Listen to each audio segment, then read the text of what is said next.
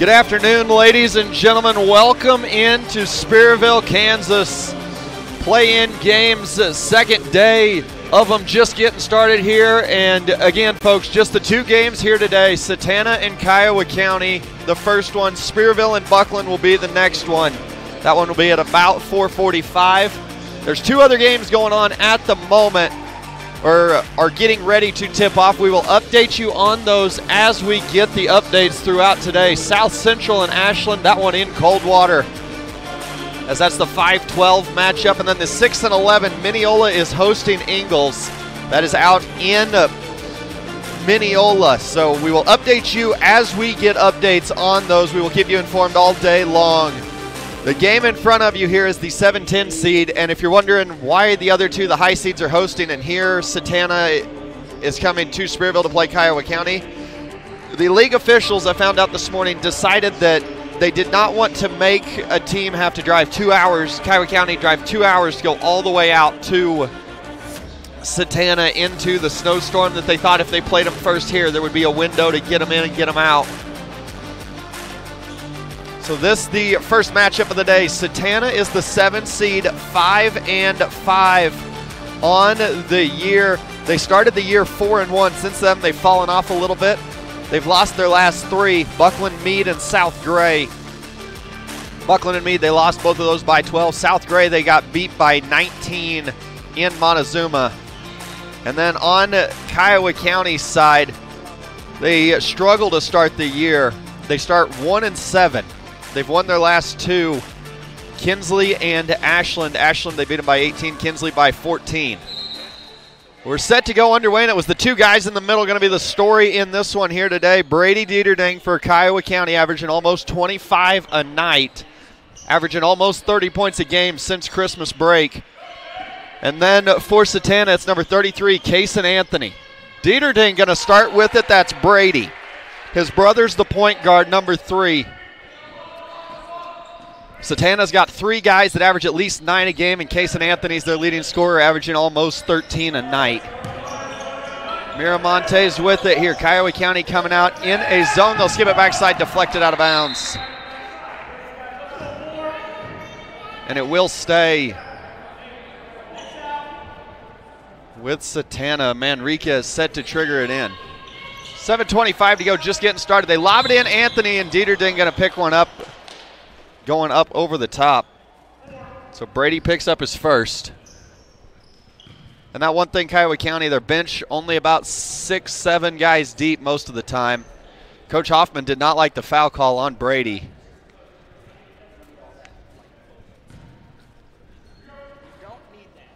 Manriquez set to trigger in. We'll do it underneath. This Wagner will kick it out. Satanta's a team that likes to play really fast, and they're going to press all day long, all tournament long, all year long. And they're going to try to turn their defense into offensive. They'll come right side with it now. Manriquez, they'll come up top. to Kiowa County in kind of a 2-1-2, 2-3 maybe. Inside, oh my goodness, no, not going to go though. Jeremiah Thompson there will clear the board for Kiowa County, looking to run quick. Dieterding to the corner. Sawyer Campbell's shots blocked. Saved right underneath. Dieterding plus the foul. That Brock.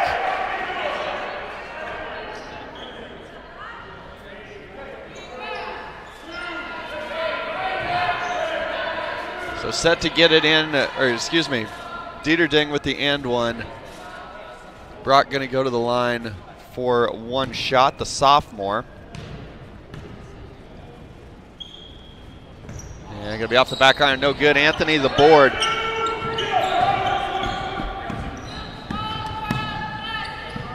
Brock has had some uh, trouble shooting so far this year, only about 10% from beyond the arc. Campbell the board. Kiowa County looking to run here, trying to beat Satanta at their own game early. Thompson tried to dump it underneath the Campbell and uh, just too close together. Manriquez will skip it backside here. This Miramonte is now top of the key. Manriquez.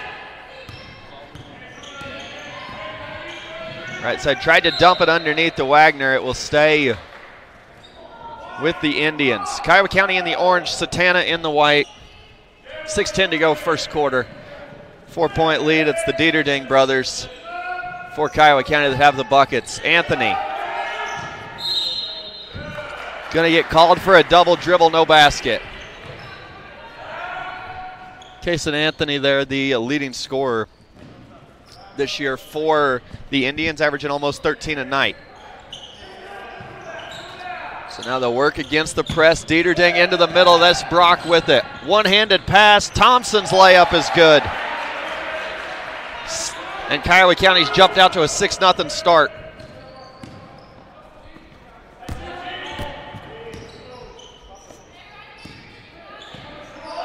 Manriquez against that 2-3 zone. Satanta, they don't shoot the three exceptionally well which got to imagine that's why Kiowa County starting in a 2-3 zone. Campbell, backside, Dieterding, deep three. This Brock missed everything. Oh, it bounced off of Wagner and ended up right in the arms of Sawyer Campbell. He's got two, four different Mavericks have scored, and they lead at 8 nothing here early. Spreading the wealth around for Kiowa County. As you see here, the one-handed pass with a little bit of backstop to Thompson. 8 nothing Kiowa County.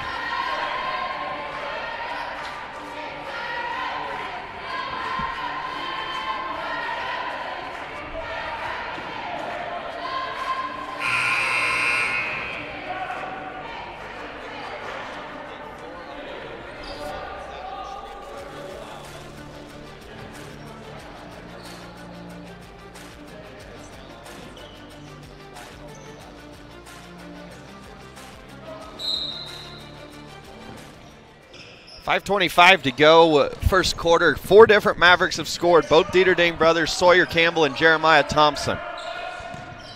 And it's all been inside. Miramontes will try to dump it underneath. Got through Manriquez, no good. Thompson clears the board into the ball game. Angel Munoz for Satanta and Caden Westlow for Kiowa County as Jeremiah Thompson's got another one. That one going to hit the floor up ahead. Brock Dieterding trying to run it down. Will do so. Lays it up and in. And right now, Kiowa County is running Satanta out of the building in their own game. Satanta's the team that wants to play fast, get out and run. And so far, it's been Kiowa County that's done that.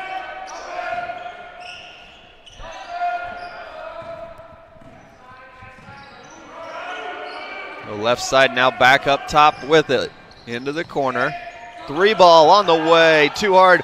Offensive rebound. Manriquez back up and in. That's Isaiah, his first bucket of the night. Here comes Kiowa County. Lightning quick. Sawyer Campbell all the way to the rim. He's got four, 14 to 2, halfway through this first quarter, and going to be a turnover there. Manriquez gets called for that one, and Bobby Salazar now into the ball game.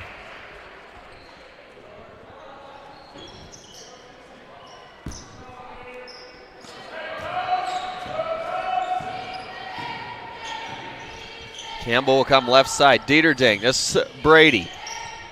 Shooting almost 35% from three. Jeremiah Thompson's going to fall for him. He's got six.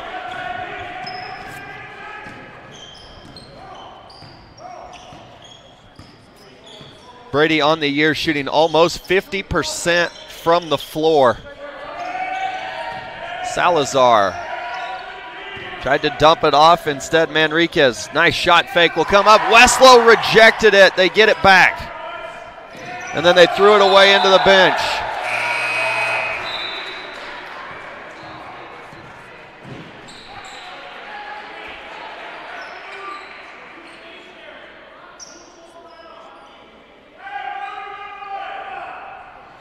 Campbell will trigger it in. Satanta going to put the press on.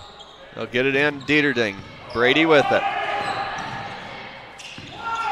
We'll get it to Campbell, right side. He'll cross over. They got through the press. Sawyer walked with it.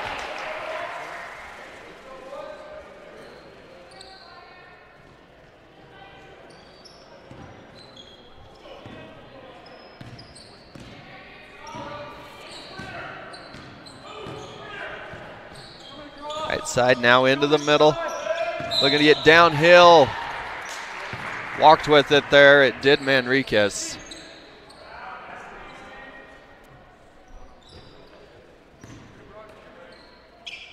Get it in. Dieterding now to his brother Brady with it. Well, crossover had it poked free.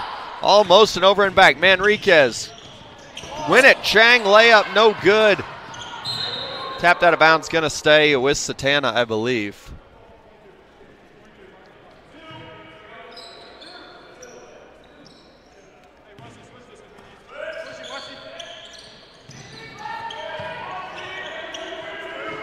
Top of the key, Salazar. Left side, now they'll go underneath Anthony. Dieterding there, turnaround jumper, no good. Rebound pulled down Westlow, and there's going to be a foul called on Munoz. It'll be his first second team foul on Satanta.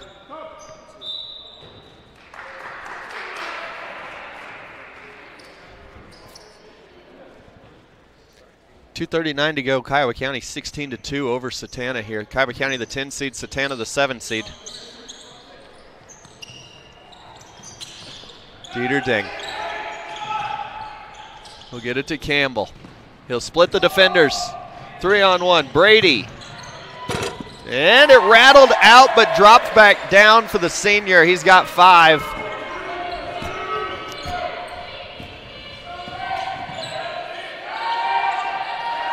Left him open. Manriquez to answer, no good.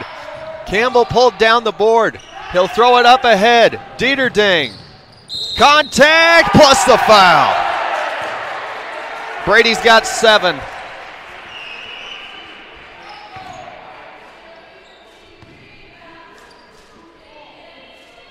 As at the second foul, now on Victor Manriquez. Into the ball game, Joseph Anderson along with Tony Moreno. And then uh, for Kiowa County, it's going to be Silas Hawkins into the ball game, as well as Caden Westlow. Looks like 2:09 to go, first quarter. 19 point lead for the Mavericks, and something that almost nobody saw coming.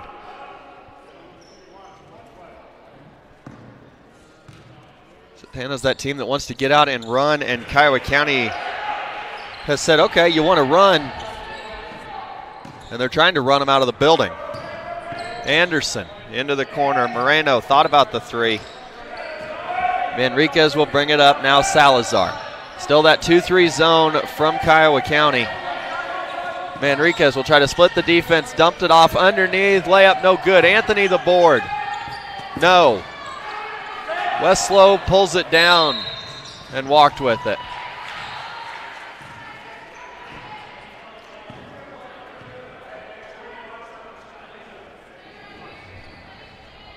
Caden Westlow there, the sophomore.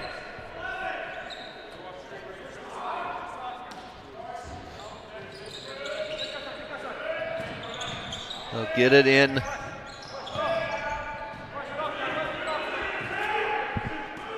Kiowa County, I thought maybe they were going to go to a 3-2, but stay in that 2-3. Little runner, no good. Thompson clears the board. He'll look to bring it up. Cross over to that right side. A lot of contact, no whistle. Dieterding pulls down the board. Brady. Oh my goodness. Off the mark, no good. Thompson the board and had it stripped out from underneath by Salazar. Manriquez up ahead. Moreno, no good. Rebound Dieterding. Kiowa County trying to run again. Two on one. Brady, little runner from the free throw line, no good. I think he was looking for the contact, didn't get it. Inside and a blocking foul going to go on Brock Dieterding. We'll see if that's on the floor. I believe it is. As Sawyer Campbell set to check back into the ball game. Manriquez there took it strong to the rim. We'll take a look here. That's probably the right call. Anthony will come out here for Satanta. Just two points for them in the uh, first quarter so far, and it came from Manriquez. He's got it now. Into the corner. Moreno thought about the three. 43 seconds to go. Mavericks lead it by 20. Little dump off, jumper off the front iron, no good. Moreno high off the glass, no. Westlow the board. Up ahead, Brady Dieterding. Will go to the corner. Brock oh, got his man in the air with a shot fake, dumped it off to Westlow underneath, and he finished it. He's the fifth different Maverick to score in this first quarter. Moreno. 13 seconds to go. Satanta can hold for the last shot if they wish. Jumper from Manriquez, no good. Rebound pulled down, stolen away. Layup is good with two. Dieterding, three quarter court heave is going to come up short. As Anderson's basket will be the last one of the first quarter.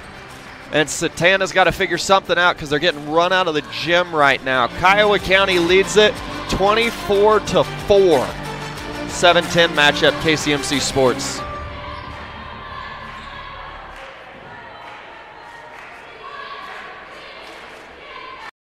We hire teachers seeking opportunities to grow in a school district with culturally diverse backgrounds. Our starting salary is in the top 5% of the state, and we have mentoring and training programs for proven success in the classroom. Join young professionals who have found success and a sense of community in Dodge City. Learn more at usd443.org/employment.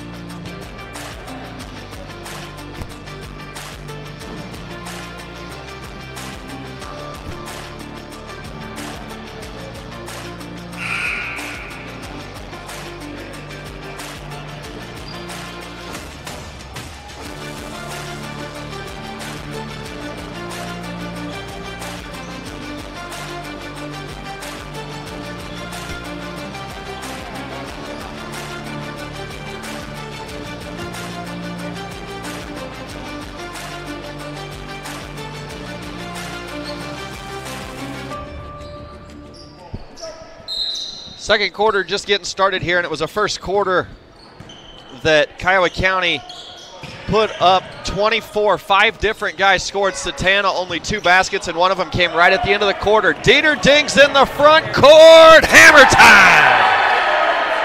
Two-handed flush from the senior. He's in double figures with 10. And Satanta, coach Duzine told me ahead of time tonight, or this afternoon, I should say, that they're not going to change anything in what they were doing. As here you see Dieterding out in front of the pack, and the kid's got hops.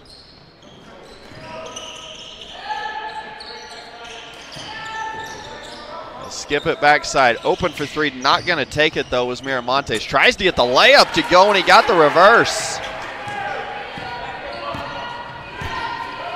And Satanta going to back out of that press now. Dieterding, Thompson right side.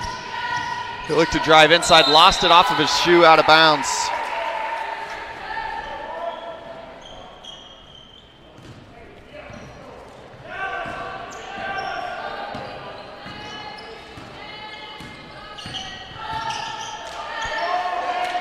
Miramontes will skip it backside, open for three. Off the back iron, no good. Offensive rebound though, Miramontes pulls it down, put it back up and in.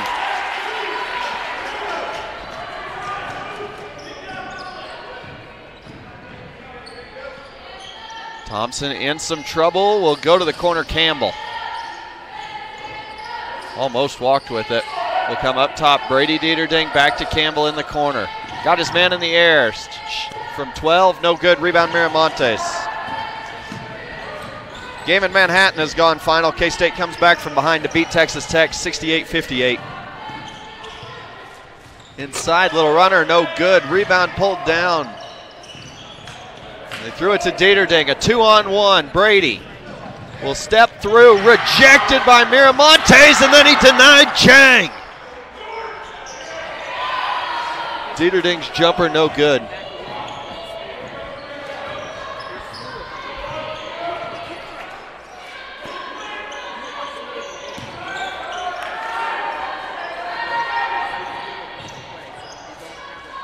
Three ball on the way.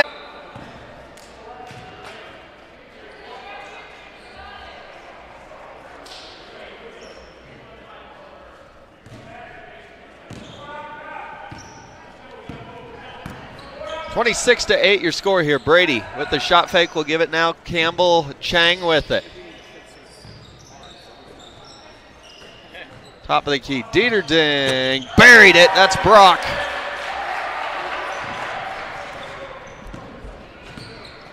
Twenty-one point lead for Kiowa County. Satanta Miramontes outside, tried to hop through, fadeaway jumper, no good. Westlow pulls down the rebound. Will get it through Dieterding, two on one. Oh, he went behind the back to Brock and he lost it out of bounds. And that's something you can do when you're up 21 and your head coach can smile about it. Hoffman sitting on the side.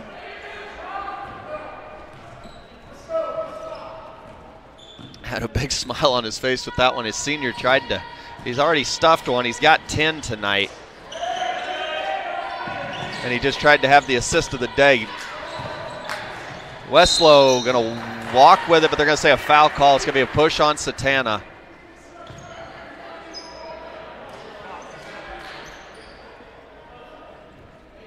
Now back into the ball game here. Looks like going to be Salazar and Anderson for Satanta. As Manriquez the one that picks that foul up. It's his third. Enriquez averaging about nine points a game so far this year. And then also into the ball game, going to be Isaiah Garcia for the first time tonight, four and white for Satanta.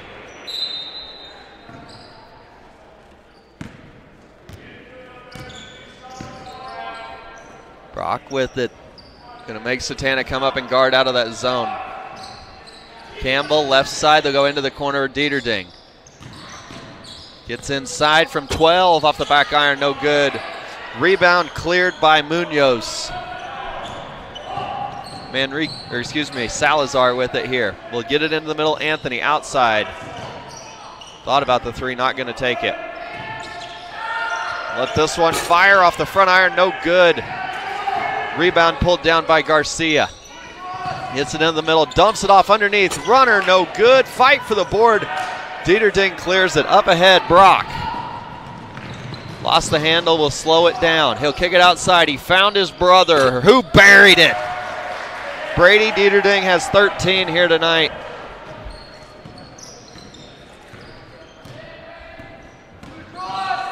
Anthony, turnaround jumper, no good. Campbell pulls the board down. Brock Dieterding will go outside. Brady just hit one. No good.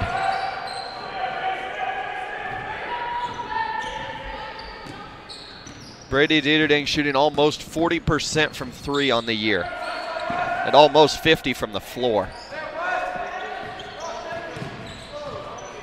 Munoz into the corner now. They'll bring it up top. Garcia will dump it off inside out. Three ball on the way. No good, but the offensive rebound put back Joseph Anderson. And Coach Ta- or excuse me, Coach Hoffman gonna take a timeout here. 307 to go. Kiowa County leads it by 22 in this first game of the day. KCMC Sports back after this.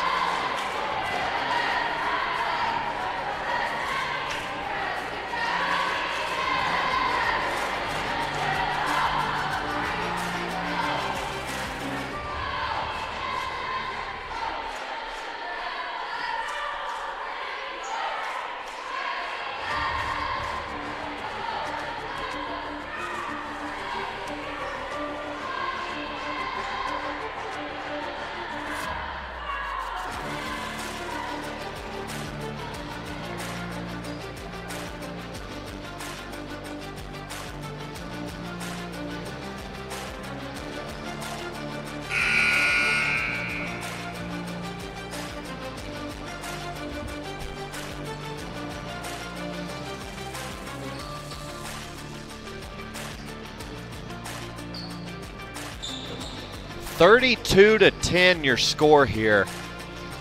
Kiowa County has had five guys score. Satanta's had three score. Brady Dieterding leads the way with 13 this afternoon for the Mavericks as he's averaging almost 30 points a game since Christmas. We come left side, Sawyer Campbell. will get all the way in, tried to dump it off underneath, and Anthony took it from him. It's a big last three minutes here if you're Satanta. You feels like you got to close this thing down a little bit. Almost walked with it. Anthony. Drop step. Campbell poked it free, but it's foul.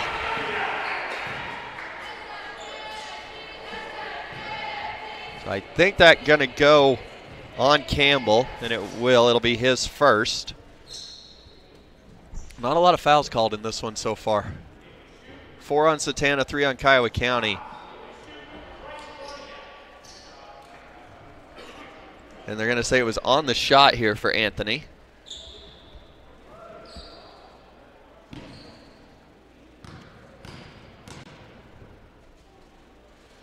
Anthony, nothing but the bottom of the net on that one. And the leading scorer for, for Satanta, that's his first points of the night.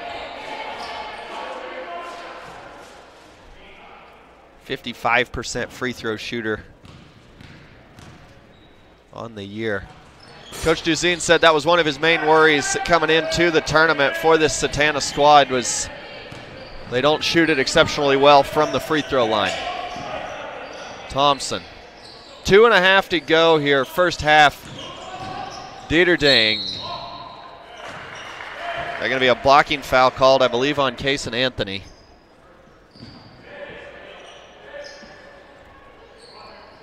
As it'll be his first.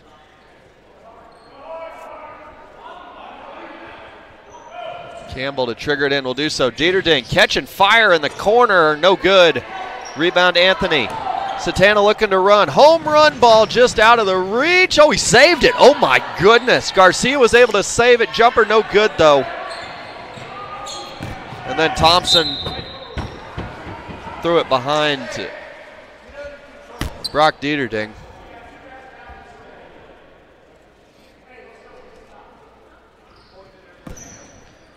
2.10 to go, first half. Salazar, now Manriquez with it.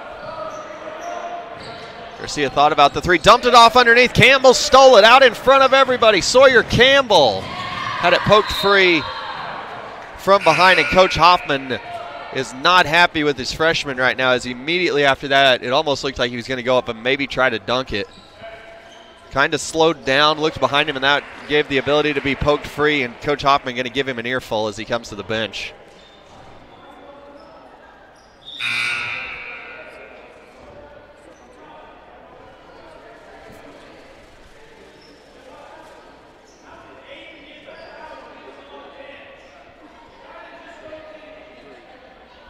And now some confusion here as the And I don't know if you guys could hear that or not, but they just gave the foul to a guy that was sitting on the bench for Satanta. Coach Duzine not happy. Going to walk all the way down to the end of the bench. And uh, I don't know if we've uh, got a replay of that at all or not.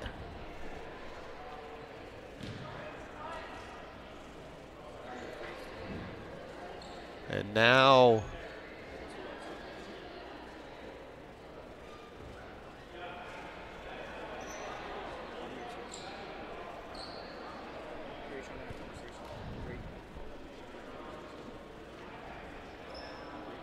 Coach Duzine there being talked to, obviously not happy. And I think they were then going to change the foul to go on Kason Anthony, and that would not be right either, as he would have been on the other end of the floor. So officials having a rough go of it here for the last little bit. And I be honest, now official one official left the scores table and now the another one going to go to it. As I'll be honest, I have no idea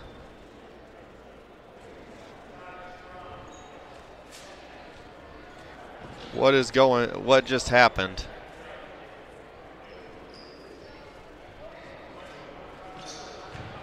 As I just backed the live stream up, and I think they, if they were going to get a foul, it would have gone on number four. in Isaiah Garcia. But I think they took the foul off of the board. I, I don't know what just happened, I'll be honest. I will see if I can figure that out at halftime. And you'll want to stay with us during halftime because there's a bill going to the uh, Senate at Kansas. We're going to have Grant Newhold on with me here at the start of halftime as Brock Dieterding knocks that one down to tell you a little bit more about it. It's kind of to try to keep the NFHS and that kind of stuff from having exclusive state contracts and what you can do to help. There's a vote on Monday that if you want us to be able to do the stuff like we're doing here and during the league tournament be able to do it when it matters most for your kids, that Open Spaces Sports has a page on Facebook or a post on Facebook that has all the information, done a great job on it, and Grant Newhold at halftime. We'll take a quick break. We'll get him uh, put a headset on, set down in front of us, and he will talk talk with you through all of that. So make sure at halftime at least right away you don't leave. We'll go to commercial for just a minute, and then we, we will come back and have Grant on with us. 61 seconds to go. Campbell split the defenders. Layup no good. Rebound Miramontes. The Minneola Ingalls game, halftime. Ingalls leads it 20 to 17 over Minneola. That would be a major upset. Ingalls, the 11 seed. Runner, no good. Dieterding pulls down the board. Thompson's on his left. Gonna dump it off underneath. No good. Westlow the board. And a tie up. Possession arrow will give it to Satanta. Westlow, two points tonight for the Mavericks. 30 seconds to go. Satanta can hold for the last shot if they so wish. Although that's not been the pace of play here today. Munoz blocked by Chang, but a foul.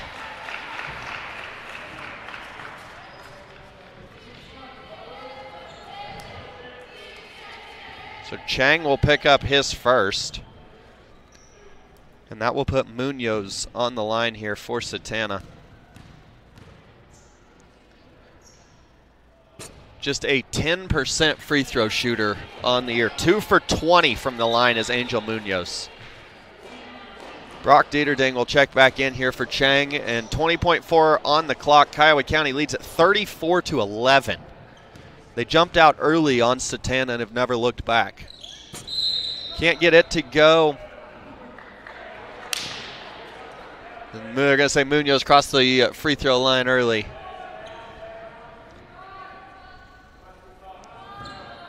Campbell will get it in here. The press back on from Satanta. Westlow almost lost it. Home run ball. Brock Dieterding's got it with 10. Shot fake to Thompson. Inside fouled.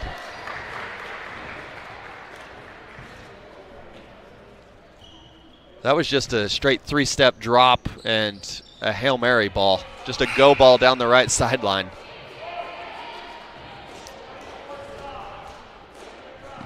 Thompson, two free throws coming for him here. 7.2 on the game clock.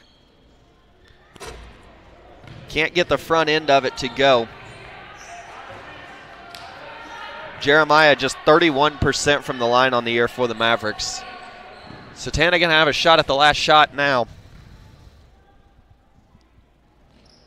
Thompson got the second one. He's got seven. Third highest scorer for the Mavericks. Satanta almost threw it away. They did. Dieterding with three, with one. Got it off off the side of the backboard. No good. Was looking for a foul call. And it's 35 to 11 at the half. Kiowa County uh, running away with this. And again, do not leave, folks. We're going to take a quick break, and then we're going to have Grant Newhold on with us to talk to you about that bill that's going to the Senate and what you can do to help to make sure that we can uh, be able to bring stuff like this to you when it matters most. Halftime show. I'm Cameron Burney. This is KCMC Sports. Halftime coming up right after this.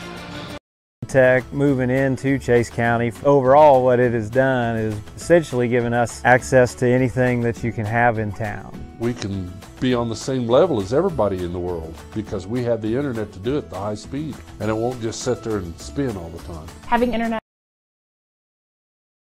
internet service and the relationship that we're building with IdeaTek is really important to our family because we want to be able to grow the farm and this is the type of thing that makes somebody willing to come back to rural America.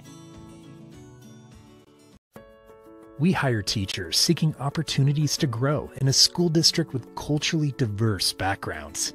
Our starting salary is in the top 5% of the state, and we have mentoring and training programs for proven success in the classroom. Join young professionals who have found success and a sense of community in Dodge City. Learn more at usd443.org/employment.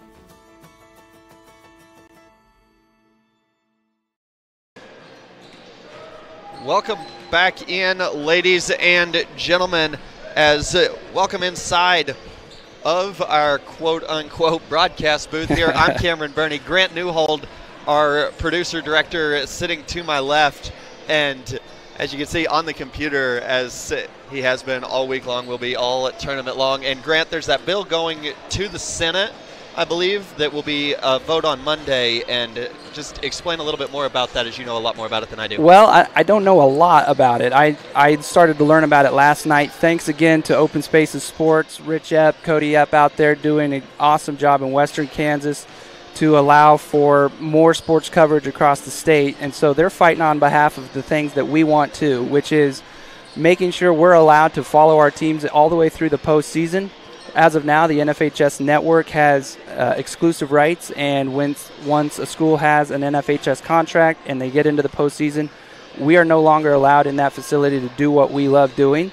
And so the Senate bill is starting to be pushed through that is going to allow for that exclusivity to not exist for the NFHS network, which is you know huge for us because we want to be out here doing this. Yeah, and instead of one camera locked off in the top of the gym and no maybe no audio, maybe no even score, and you're just kind of watching it. And whereas we can bring in and people like Open Spaces Sports and KCMC Sports, and there's all kinds of them throughout the entire state that can actually cover a basketball game.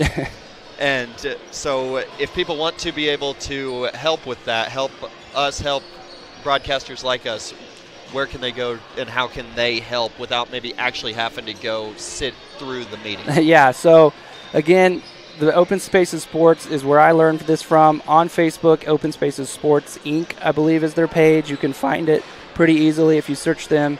Um, there's a great post, and we shared it from KCMC Sports and the Kiowa County Media Center Facebook page.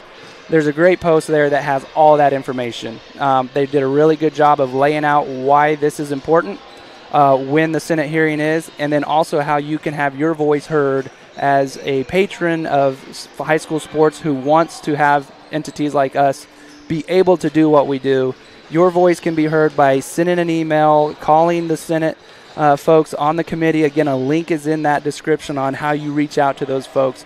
Um, and I would think the more voices saying we want this, we want this, we want this, the more effective it's going to be for it to possibly pass. So again, Open Spaces Sports Inc. on Facebook. KCMC Sports has shared it, and it, just go there. All of the info will be there because we want to be able to keep doing this. We love this. This is amazing. And what uh, the other factor about this is we have students here doing this production with us. Yeah. Hey guys, come here. Hey everybody, come here. Get into the back of this. Just show up here. We yeah, we, we want to show you guys off a little bit. We have we have student driven production. Get in here too. Uh, that bring us all to do these games with and for you as a viewer at home. Um, when the NFHS contract comes into play, these guys get left at home, and you're left with a robot camera that might follow the game, it might not.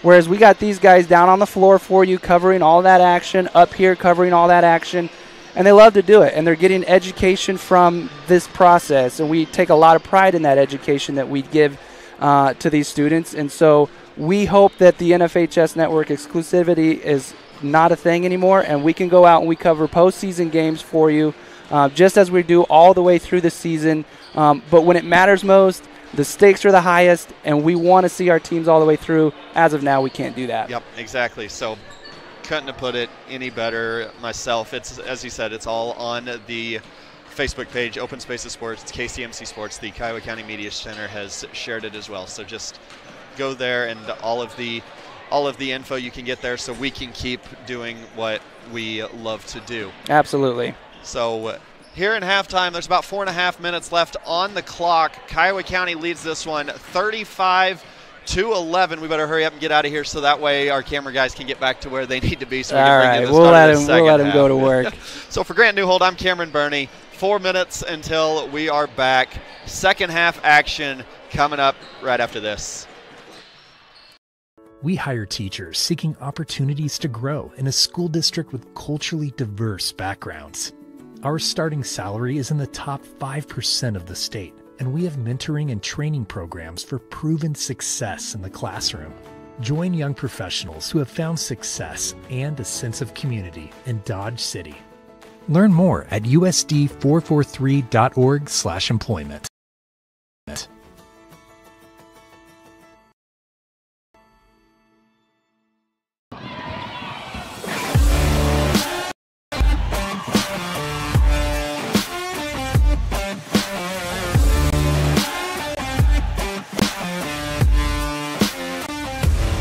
So, you want to produce some basketball, but not just that top camera that covers the game action, but the multiple camera, instant replay, announcer commentary, score and team graphics, and integrated video content type of coverage? I think it's fair to say it's never been easier or required less people than how you can do it now with a computer at center court. Setting up the production hub here makes it possible to bring all your audio and video elements into a central location. It serves as the best seat in the house for announcers next to you, and the best possible camera placement to cut in a floor level angle with your game cam for close ups. Having multiple camera angles is the best way in which to add production value.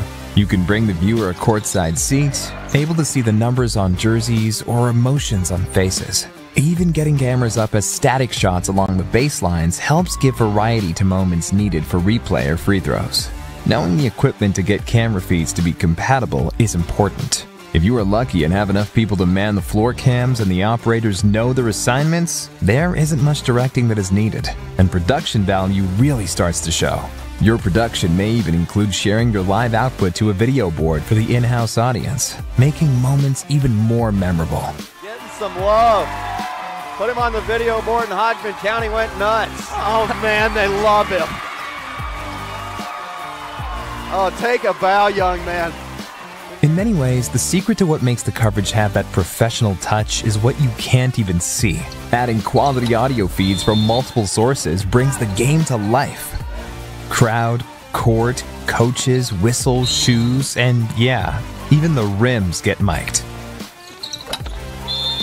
You can pull most of these audio feeds through your on camera microphones, and they are mixed right inside Production Truck. A key element to making the coverage become much more than basic game action is the producer's camera. With a zoom rocker and the ability to see your feet on the computer screen, it makes for a really easy option to reach over and get the extra coverage.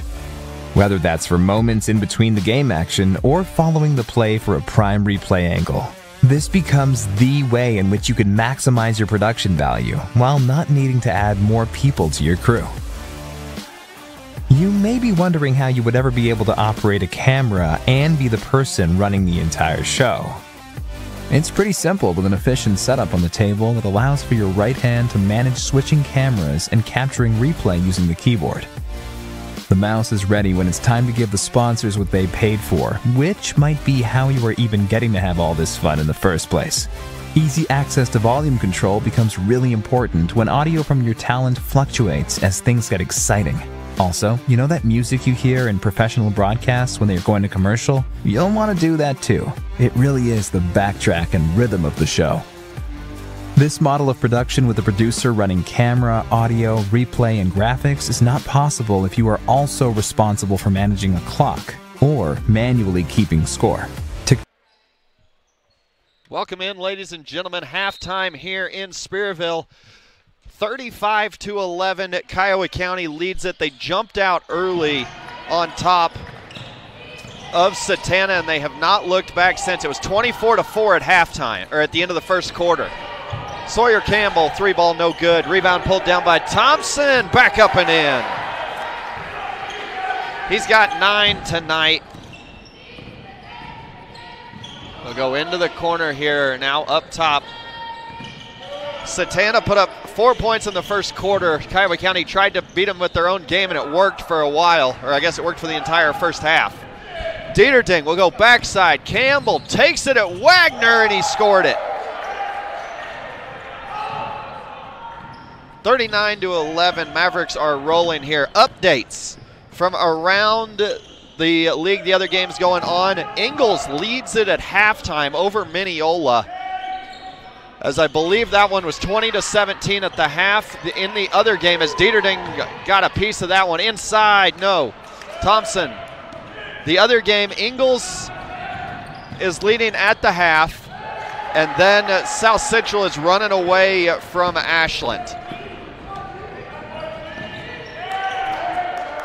So Dieterding that last bucket as Anthony almost lost it out of bounds will come up top.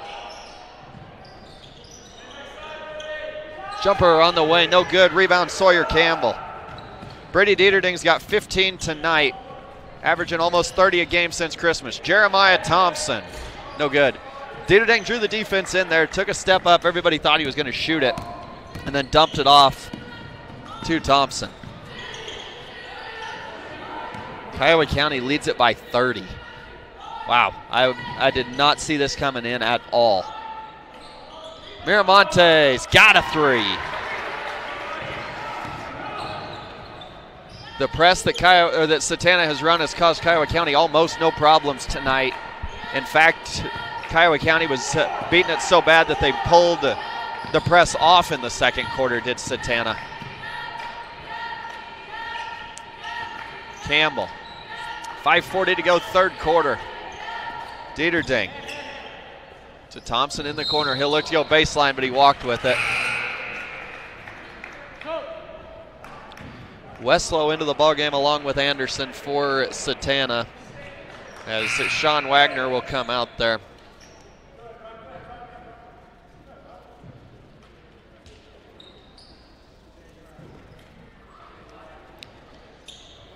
So again, updates from around the league. South Central's boys running away from Ashland, which was to be expected. And then in the other one, which would maybe be the upset of the tournament so far if Ingalls is able to hold on and beat Minneola. Ingalls is the 11th seed.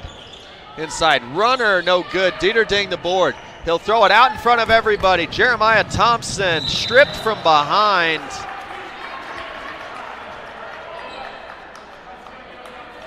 And are they going to say there was a foul there? They are. Wow. Salazar going to pick that one up.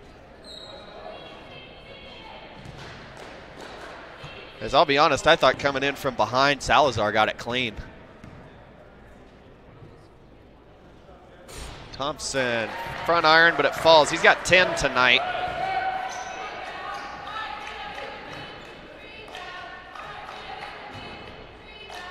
Five twelve to go, third quarter.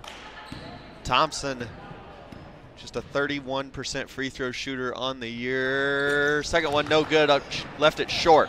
Satanta looking to run. Manriquez thought he was going to kick it outside to Salazar. He'll give it to him now. Open for three off the front iron and then the top of the backboard, but it never went over, so it's still a live ball.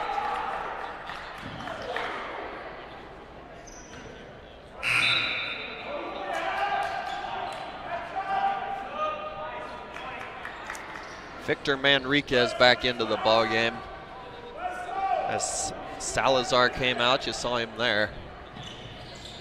Miramontes will get it in. They'll go underneath. Anthony took it at Dieterding, shot no good. Westlow pulled it down for a second and might have got away with a travel. Anthony up ahead. Miramontes layup is good. Dieterding now to Westlow. That one deflected. Westlow got it though, gets it to Dieterding. Now with the numbers. Thompson. Fadeaway jumper, no good. Anthony stood his ground. Westlow saved it, but he saved it right to Kason Anthony. Satanta looking to run. Thompson going to pick up a foul. So that'll be Jeremiah's first, I believe. And Jisung Chang set to check back into the ball game.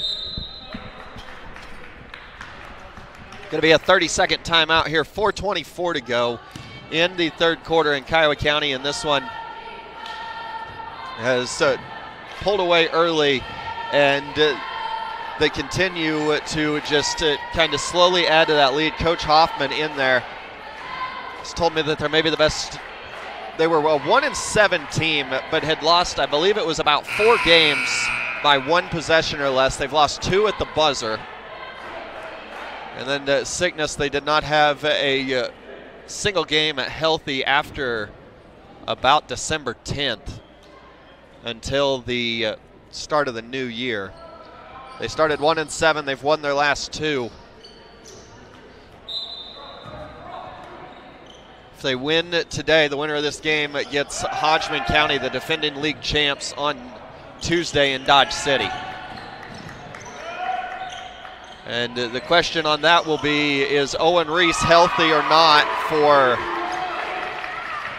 Hodgman County? Coach Flores has told me that battling a lot of injuries right now are the Longhorns. But Owen Reese, even at 50%, may be better than 90% of the league at 100. Manriquez will skip it backside. Jumper blocked by Westlow, but a foul. So Manriquez will go to the line for two here as Westlow is going to pick up his first. Two free throws coming, Isaiah Manriquez. That one off the mark. Manriquez, 66% free throw shooter. He's actually the best free throw shooter for the Indians on their roster outside of Bobby Salazar, who's two for two. Manriquez, 66%, averages about nine points a night. Just two for him here this afternoon. Can't get that one to go. Offensive rebound put back up and in, though. Anthony's got his first bucket of the night. Brock Dieterding had it poked free. He got it back. He'll find Campbell. Outside, Chang. Dieterding will slow it down. Now Brock, this left side, Thompson. Going to be a foul before the shot as that one going to go on Miramontes. It'll be his second, I believe. 326 to go, third quarter.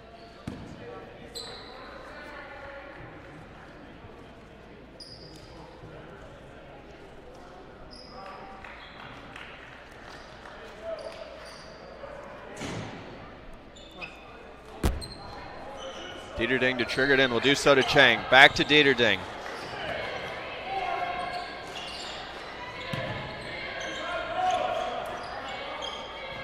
Brady will go right side Brock, but it got poked free out of bounds. It will stay with Kiowa County here.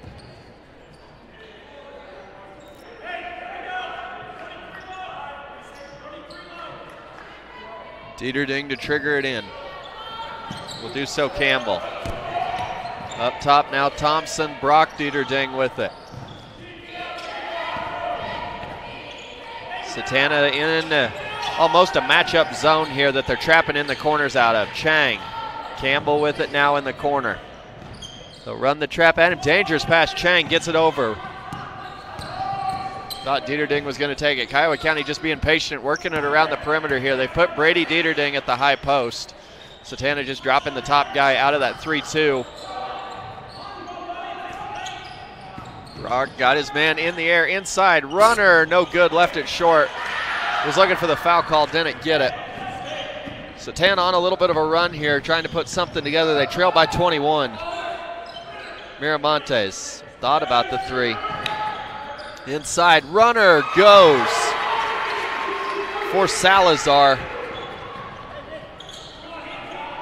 Thompson in some trouble.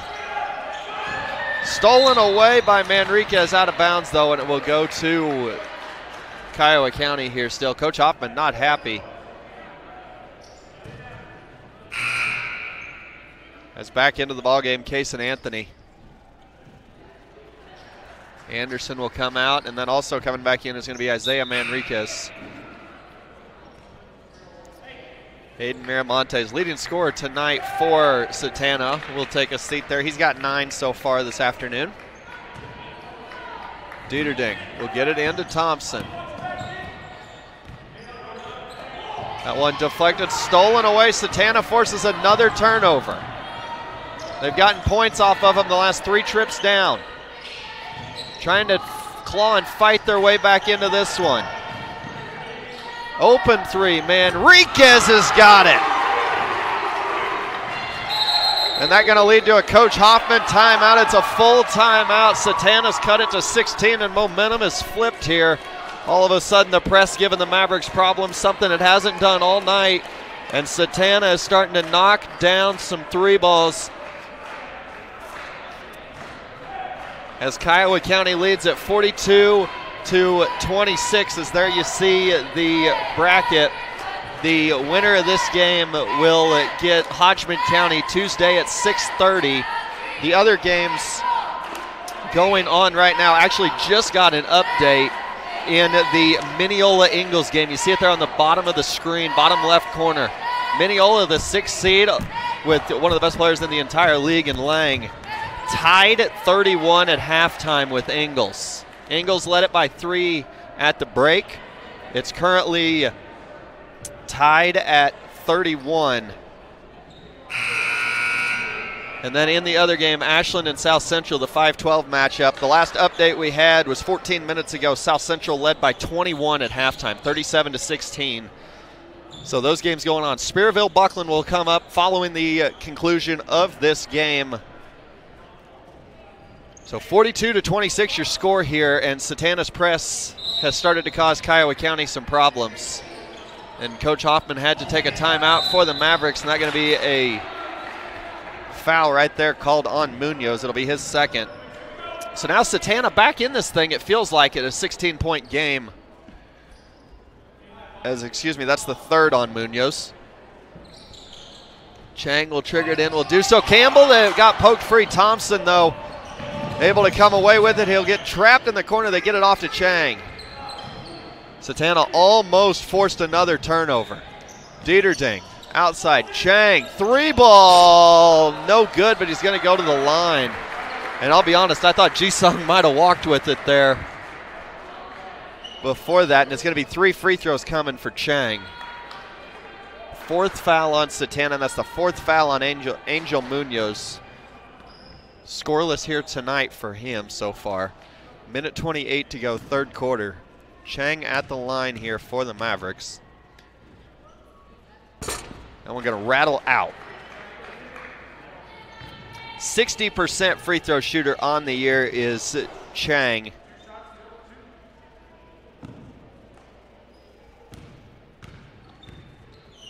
Averages just 1.5 points a night. He's got his first point in this one, and he's the sixth Maverick to score.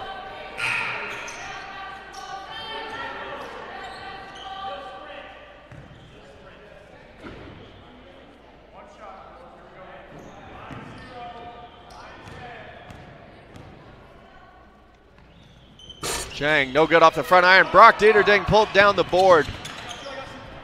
We'll get it off now, Brady. Left side, Campbell with it. Minute 20 to go, third quarter.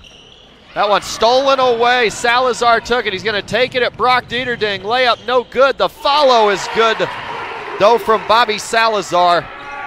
Or, excuse me, from Isaiah Manriquez. Campbell threw it away underneath almost. As Silas Hawkins and Caden Westlow going to come into the ball game here. Chang will come out along, or excuse me, Campbell and Thompson will come out here. 64 seconds to go. Hawkins to trigger it in here for the Mavericks. Satanta's starting to turn the pressure up. And they're going to get it in Brady. Back to Hawkins. Threw it right into the arms of Salazar. Gets it off Dieterding. Now Kiowa County with numbers. Up ahead, Brock Dieterding. We'll kick it back out. Brady back to Brock. Little runner, got it. Pace is picking up here in this one, and I'm not sure that was even possible. Manriquez will get it back in the corner, gonna let a three fly off the back iron, no good. Rebound Salazar. Oh, it rolled out for him. And then a foul going to go on Manriquez. That'll be the 15th foul on Satanta.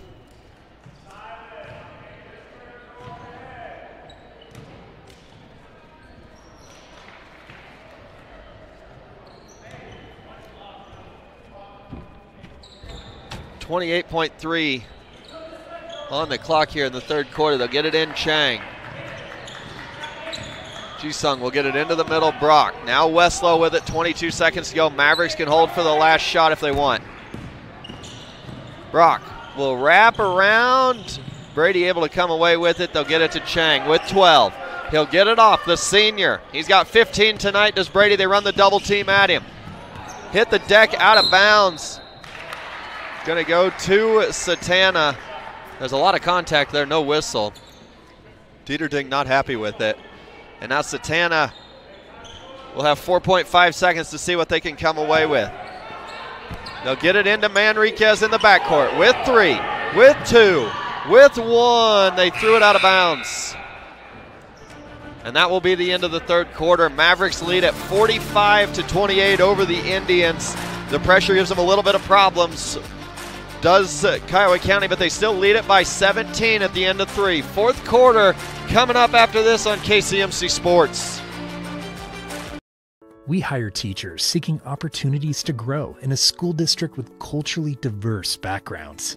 Our starting salary is in the top 5% of the state, and we have mentoring and training programs for proven success in the classroom.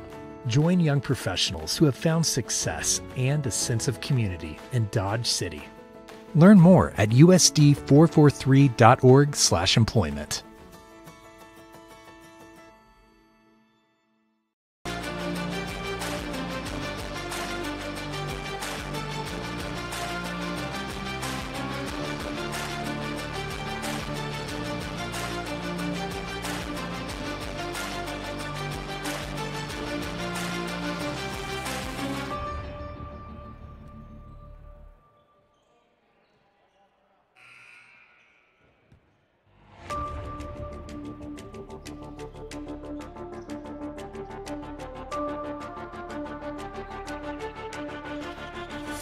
End of the third quarter here in Spearville. 45 28, Kiowa County with the lead, but Satanta won that third quarter. 18 or excuse me 17 to 10 so they cut the lead down a little bit. That one deflected open for three off the back iron no good. Dieterding tapped it but he tapped it right to Anthony. No good rebound Campbell and he's tied up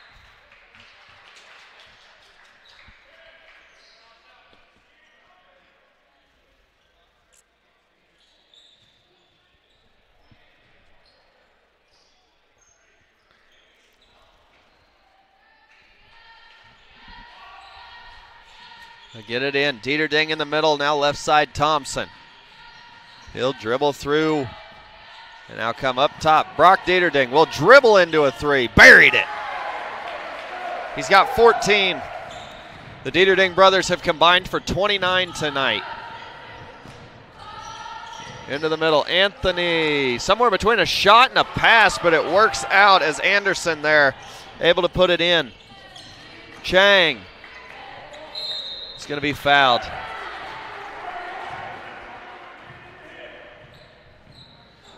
As here you see Dieterding just dribbles into it. Had some shooting struggles, but able to knock that one down. At the fourth foul on Victor Manriquez, sixth on Satanta, so Mavericks in the bonus the rest of the way.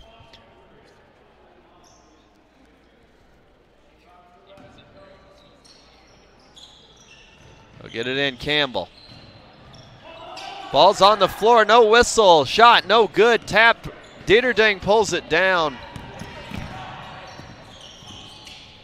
Brady will come up top, Campbell. Thompson with it. Dieterding, this is Brock. That one no good. They'll go up ahead quickly. Kiowa County didn't get back. Miramontes up and under, no good. Rebound, second attempt is going to go down for Anderson. And uh, I believe Satanta going to take a timeout here. They've cut it back down to 16 again. 30 second timeout. As there you see the up and under, but just right place, right time for Anderson. And Satanta has turned up the pressure majorly, and the whistles have quit blowing here quite as often as they were. But that's what is that's what Satanta is known for. That just hard in your nose defense. Head coach Tim Duzine there in the middle of them. And uh, they will just play hard in your nose, in your face, hard nosed defense, and uh, make you make mistakes. And Coach Hoffman telling his guys now, I would imagine that that's what's getting ready to happen. And uh, the officials, when you're playing Satanta, it's always been that way. That you can't, they can't call everything, and so that tough defense, just on the edge of fouling, just constant, constant pressure. Starting to see that here as Campbell will get inside, dumped it off. Dieterding high off the backboard, no good. That one just deflected. Kiowa County, I thought for a second was going to put uh, some pressure on themselves. 16 point game. Satanta's kept it to where they feel like they're still in it. Inside out. Jumpers. Good again from Anderson. And Satanta going to take another timeout here. This one a full timeout. They've cut it to 14. They're trying to scratch and claw their way back into this one with a little bit of defense. And then Joseph Anderson's in double figures.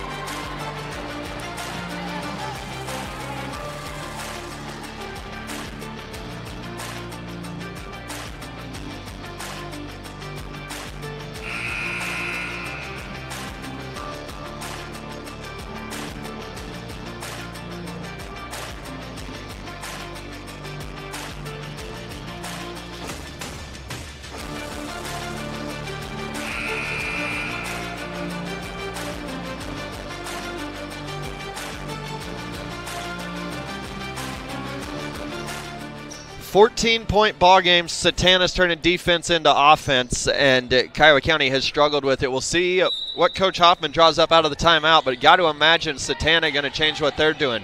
Went for the steal, didn't get it. They'll get it back to Chang. Now to Campbell.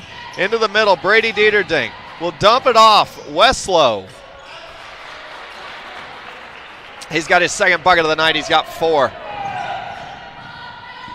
Isaiah Manriquez, now Salazar with it.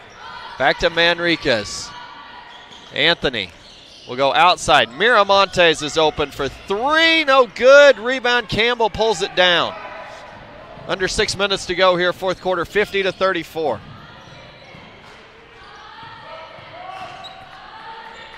Into the corner, Chang. Dieterding with it, back to Chang. Underneath, Westlow. Outside Chang.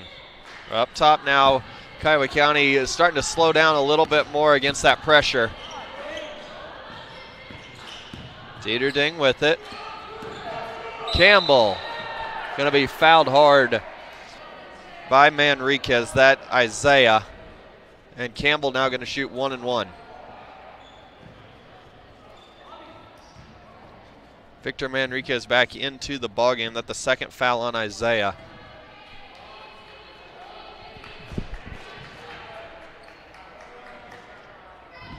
Sawyer Campbell on the line. Six points this afternoon for him. Can't get it to fall. And for the final 5-14, I got to imagine the Mavericks going to have to knock down some free throws because Satanta's probably not going to quit being really aggressive and it leading to fouls. And then Satanta's going to have to knock down shots like that where they're open. They want to be able to get back in. This one threw it away. Anthony going to take it himself. And uh, blocking foul going to go on Campbell, and Anthony's going to go to the line for two.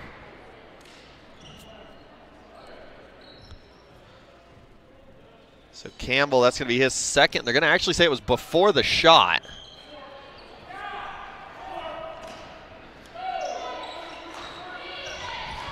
They'll get it in. Anthony. They snuck him behind Campbell, and now he's going to go to the line for two. I think that's going to go on Thompson. It would be his second, and it is. So now Kason Anthony to the line. Two free throws for him. He's one for two from there tonight. 55% free throw shooter on the year, averaging almost 13 points a night. Can't get that one to fall.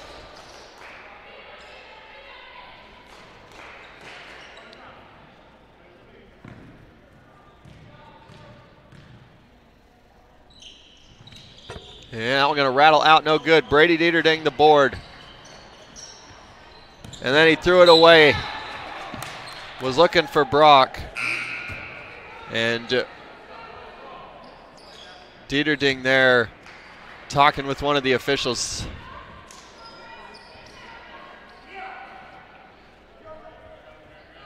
Four forty-five to go. 16-point lead for Kiowa County. Into the corner up top. They'll work it left side. Manriquez, rise and fire. No good. Offensive rebound, though. No. Third chance. Got it. Again, Joseph Anderson. He's got 12 tonight.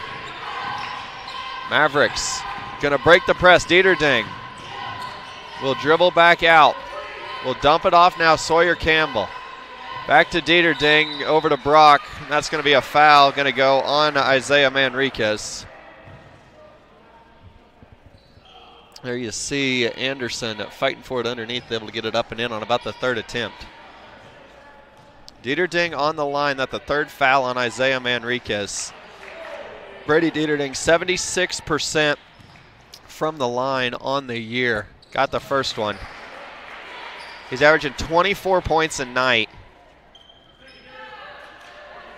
He's got 16 here today. Make it 17.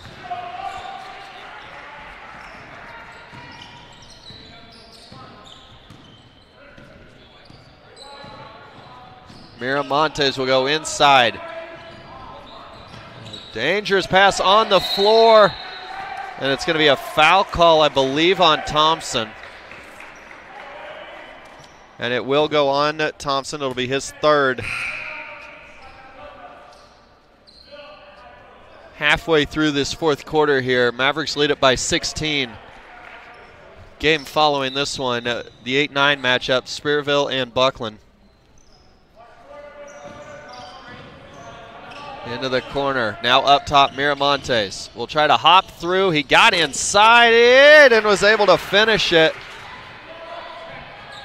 He's got 11. Satanta's been able to cut it to about 14 a couple of times. Haven't been able to get it any closer than that, and Thompson just dribbled out of bounds.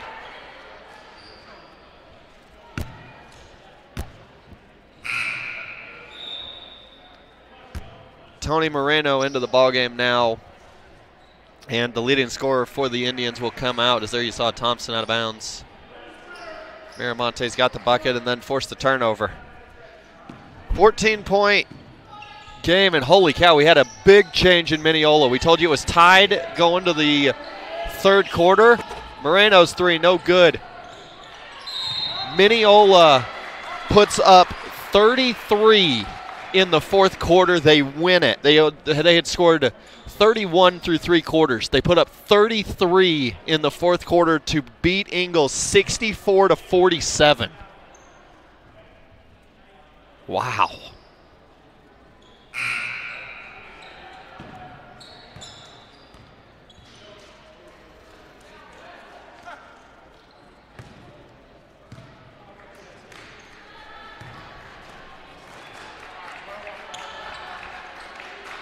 Westlow will go to the line here. One and one, the final one and one for the Mavericks. Gonna rattle that one home, at Will Caden.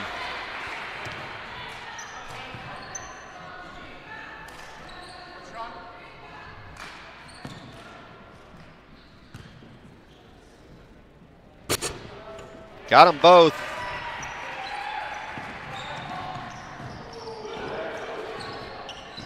Miramontes left side now. Thought about the three. He'll get it back.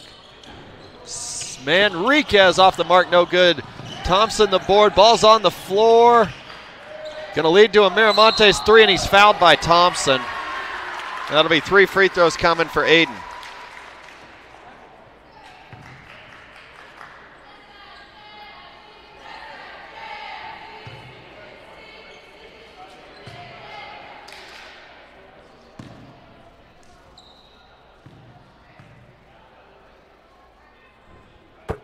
Got the first.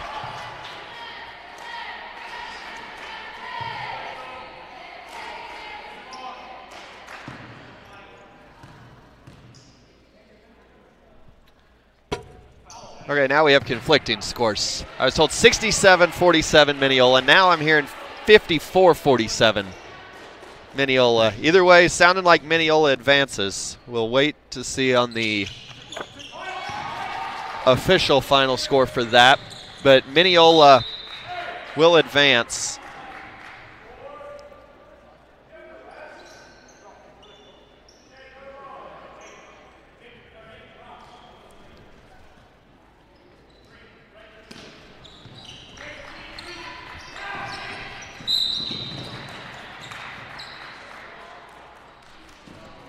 Three oh three to go here in this one. 54-40 Kiowa County with the lead.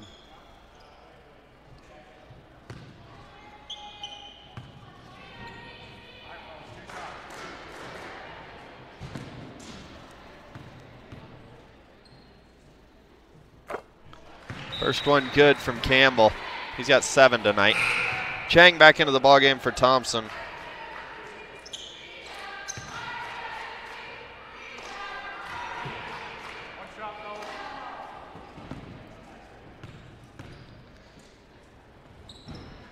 Second one good as well.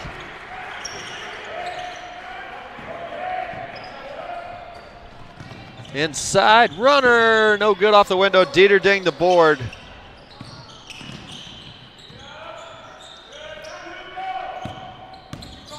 As it was 54-47 was the final in Minneola. 54-47. So my apologies, not 33 scored, but still 23 points put up after you only put up 31 and three quarters. Pretty impressive from Lang and the Wildcats. So they advance to play at 445 Tuesday in Dodge City. And they will take on Pawnee Heights and Eli Lang and Alec Carlson. Can we clear everybody off of the floor and let those two dudes go one on one for the entire night? Because that, that is basically what will happen. 56 40 is your score here. Satanta going to have to pull something out of their bag of tricks. Kiowa County has kind of figured out that press in the fourth quarter of this one after it gave them a little bit of problems there in that third quarter.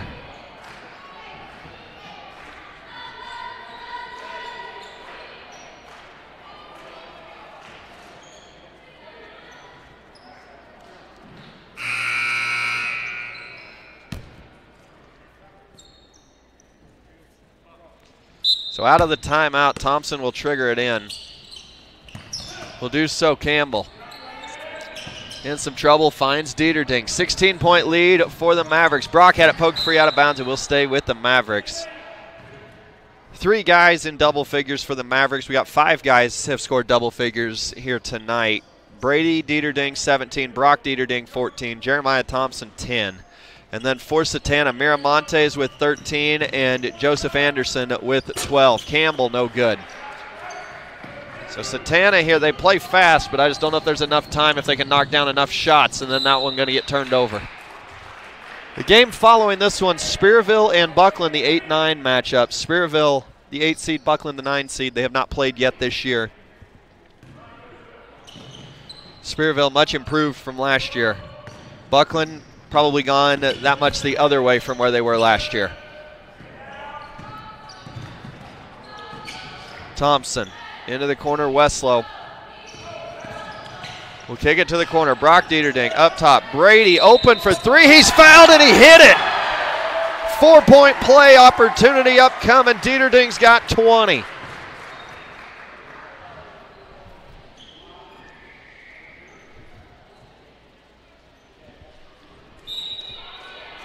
As you see here, inside out. Never saw the other defender coming, and then Manriquez picks up his fifth foul. Caught Dieterding on the arm.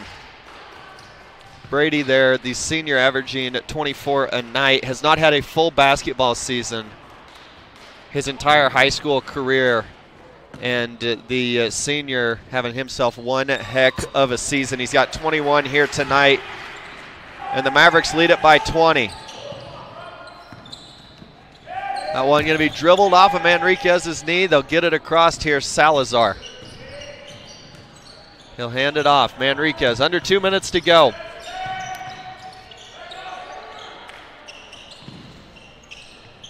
Thought about the three, not going to take it. They're going to skip it backside. Miramontes. Salazar going to get inside. A lot of contact, no good. And it's going to be two shots coming.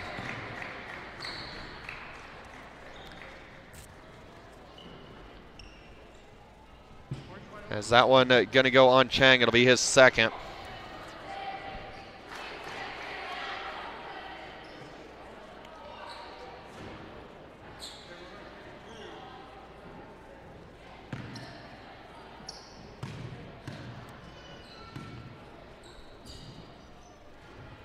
That one going to be off the front iron, no good.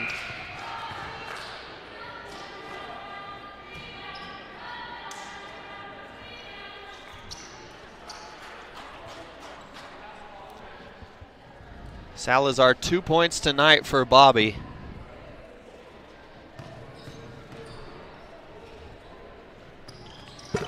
Second one got it to go.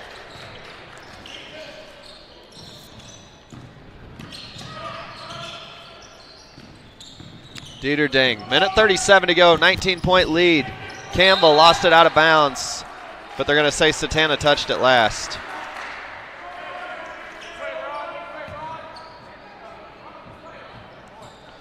So uh, the loser of this game will play Tuesday at 11:30 against the loser of our next game. The winner of this one gets Hodgman County. The winner of our next one gets Meade. Dieterding will step through, through it outside. Campbell over to Westlow now. Up top, Brady. Mavericks just looking to kill the clock here. Campbell dumped it underneath Westlow. We'll throw it back outside now. Dieterding, 70 seconds to go. Mavericks looking to just run this thing out and move on to play the state or the uh, league runner-ups last year in Hodgman County. Manriquez no good. Salazar the board. No. Brady Dieterding will clear it. We're under a minute to go. We'll give it off now. Brock up ahead. Campbell poked out of bounds. We'll stay with Kiowa County.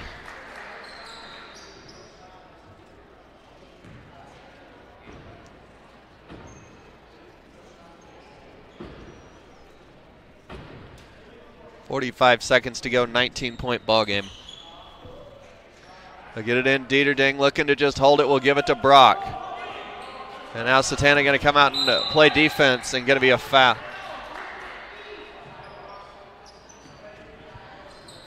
Salazar going to pick that one up. Coach Duzine for Satanta not happy with that. He said come out and pressure and just make Kiowa County throw it around. And instead, Salazar comes out and fouls down 19 with 37 seconds to go.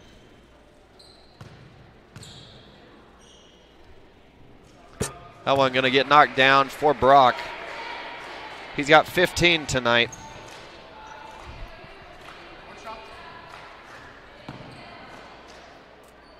Brock averaging nine points a night, shooting 73% from the free throw line. Got them both.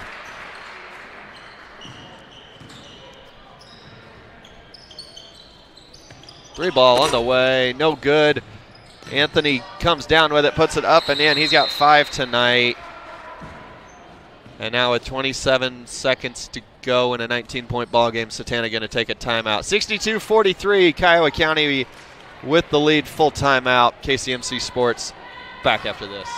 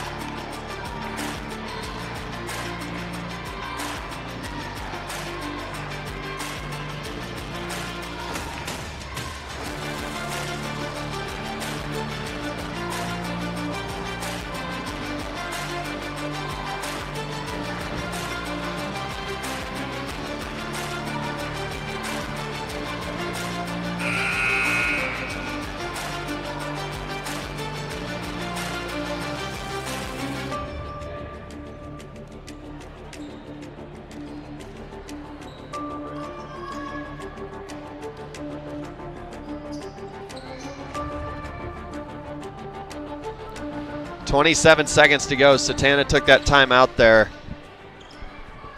And they will put a press on here. They do have a safety valve sitting back in case an Anthony. Jeremiah Thompson to trigger it in for the Mavericks, up 19. They'll get it in. Campbell. Now to Thompson. He'll split through the defenders. And he lost it out of bounds.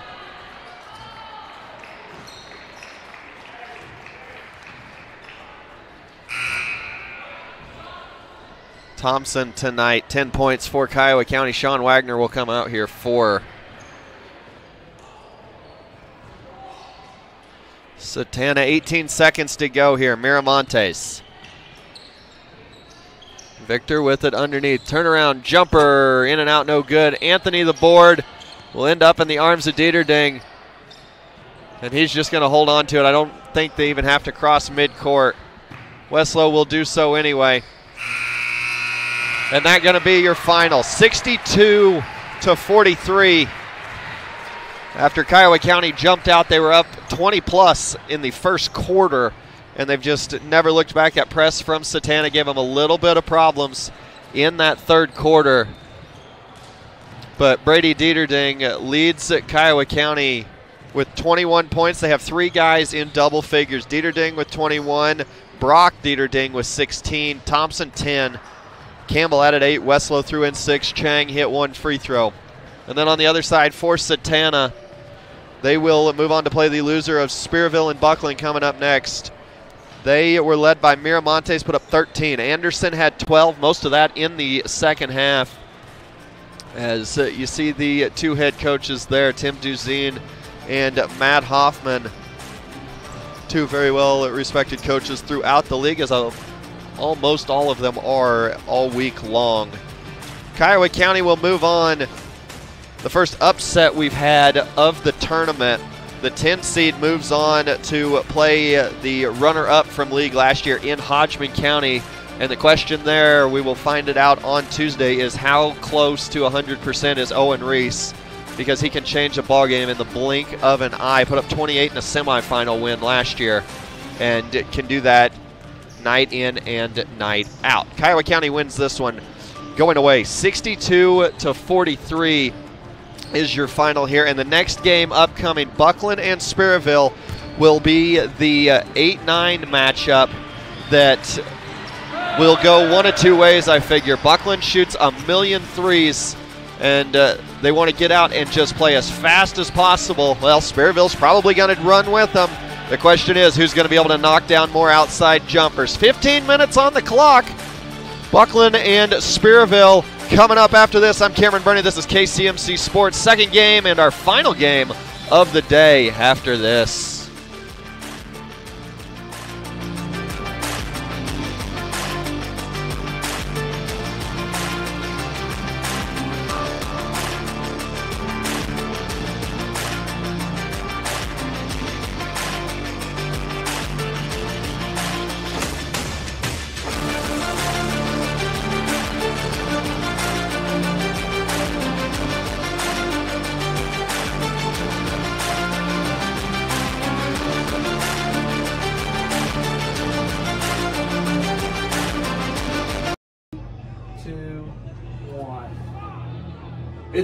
Final day of the 2022 Show Me Bowl here at Faurot Field in Columbia, Missouri. We start with Class 3 on a sunny but chilly day at Faurot Field.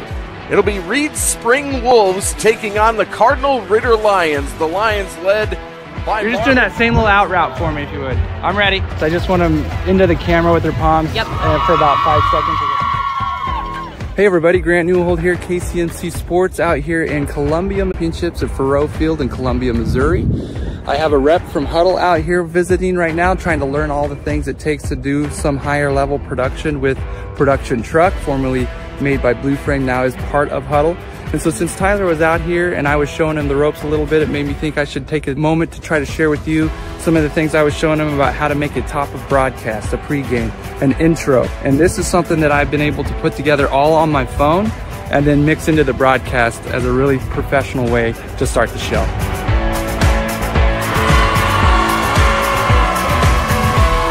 I like to get an opening shot right away so that the fans can be seen coming in and it kind of establishes the facility and where we're at. So usually that's outside the facility pushing in. And then I'll come in and I will try to showcase the fans as they're filling into the arena. And that's a good transition from fans to the field or the court or whatever you might be producing. And that allows me to get down onto the field and start isolating head coaches. Are you head coach? Can I get a shot of you for the open of the broadcast? I just need you standing looking out at the field. I'm just gonna do about five seconds around you, just so we can identify you in the open of the show. And you can look right past the camera. You don't have to look at me at all, okay? Let's go, y'all, let's go! Let me get my set and exposure here. There we go.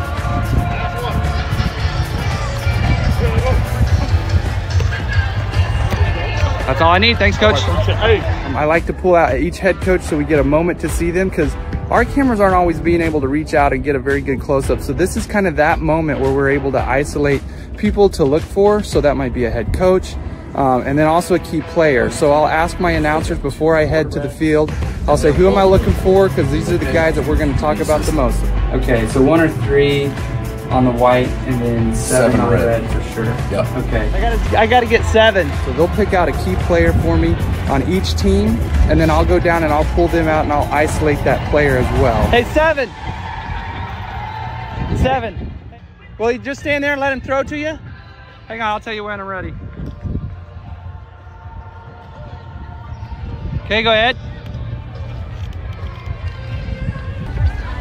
Almost didn't get seven. I was about to test my speed running down the tunnel with those guys. Can I get a group shot of your girls? And then I like to try to involve the fans as much as possible in this moment. So the cheerleaders, I gather them up and I get their coach to organize them in front of their cheering section. And then I do a quick push at them and I tell them get really loud. This is gonna be exciting because they'll cheer and they'll look more excited if they try to get really loud. And then I'll shoot myself what's called like an end cap so that it's something that's still more general. If it's specific to this event, like sometimes on the big board, they'll be showing the day's matchup. It's kind of cool to be able to show that if it's happening, or just a shot of the Misha flag or something that's going to maybe be that ending logo sign before we transition from that into a live camera. And I usually leave that very long on the back end so I can just dissolve to my live camera as that video is still playing through in production truck. So then what's cool is I can edit all of that together on my phone, typically even as I'm headed back to my location where I'm producing from. And so I'll be editing that on the fly, um, just making the shots be in sequence if they hadn't been shot in sequence, trimming the ends just a little bit here and there if I've shot something a little too long, but I usually just shoot for what I need. And so I don't have a lot of editing to do. So I'll do a little trim. I, of course, want cross dissolves in between those because it looks really nice whenever things dissolve between it.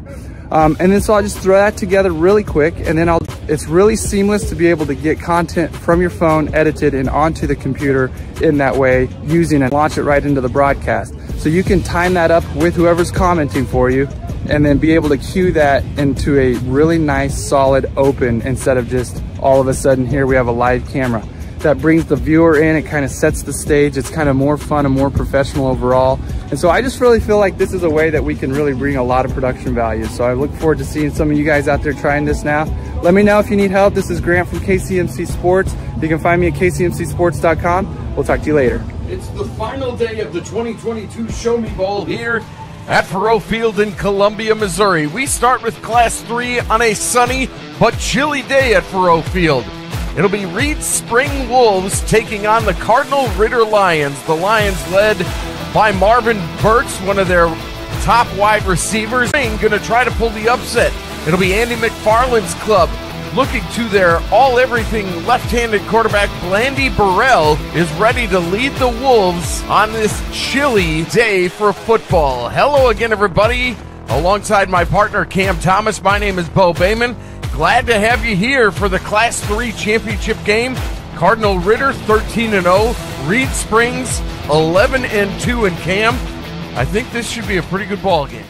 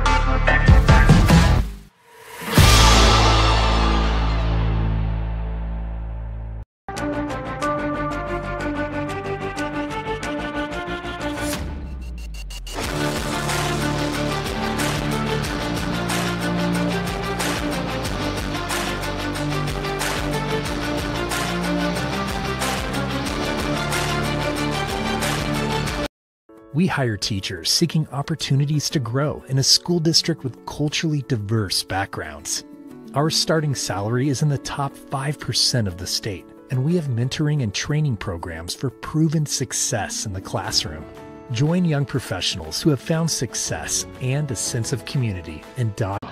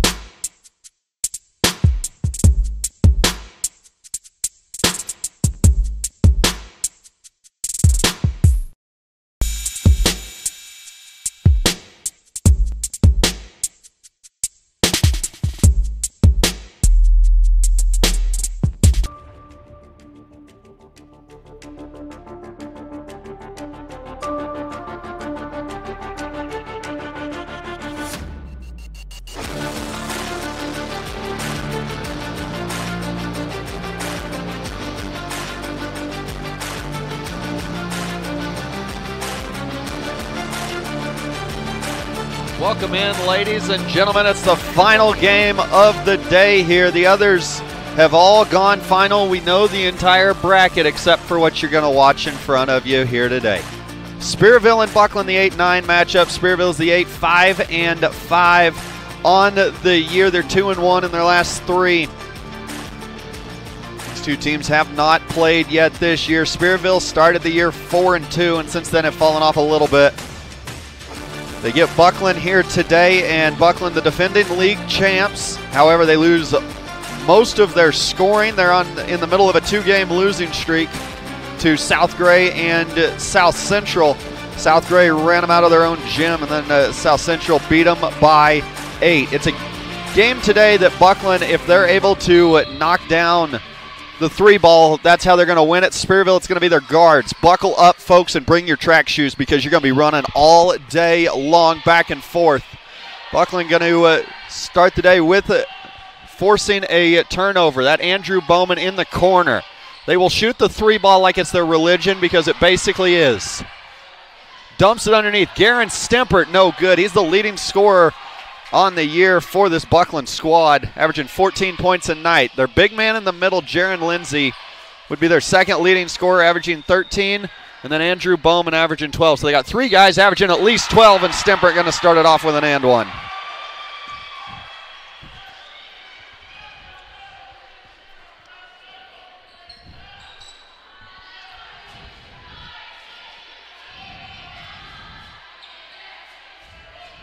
So Stempert on the line, one free throw coming for him here.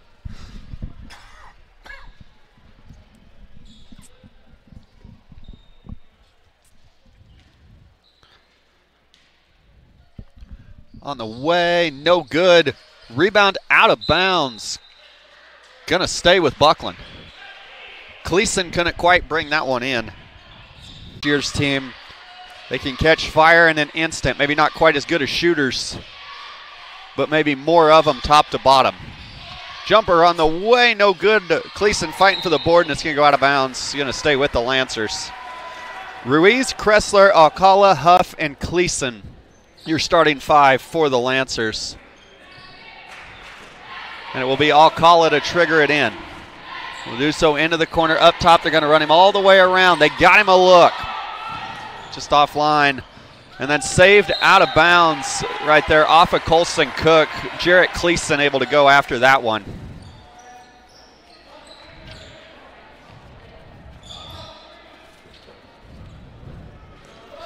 Cleason, the 6'2 senior, will trigger it in. Will dump it underneath. They'll kick it back out. Thought about the three. Instead, they'll go over. Ruiz, no good.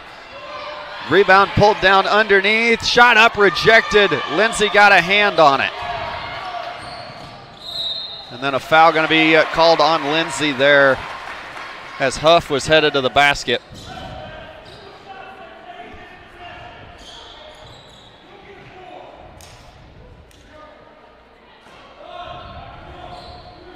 They'll get it into the corner, looking for Ruiz up top. Instead, Huff will drive inside. Bowman's took it from him. He'll look to bring it up, going to come all the way inside, kicked it out. Stemper.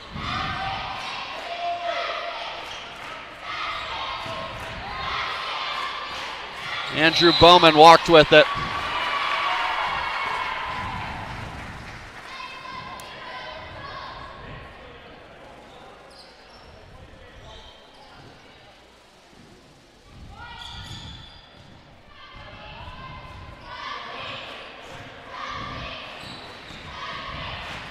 Ruiz. Oh my goodness. And then the shot fake from Cleason.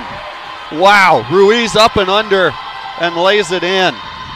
Or lays it off, I should say, to Cleason. Outside, Lucas Kirk buries a three.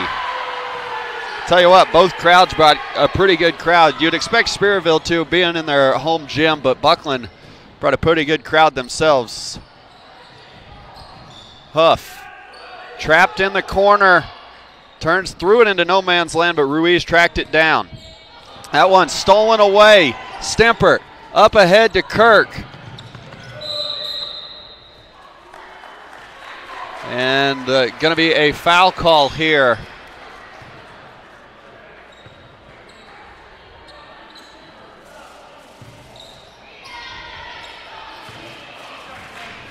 And Coach Eli Applegate not happy as he thought the official that was made, that made the call uh, was not the official that should have been the one that made it. As Kirk knocked down the first one.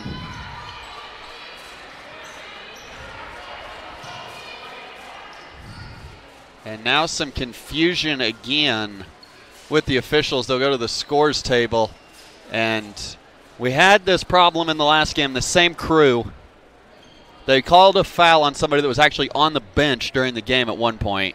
And now uh, they go over to the side and make sure that they got it right, and it's on Ruiz. It's his first.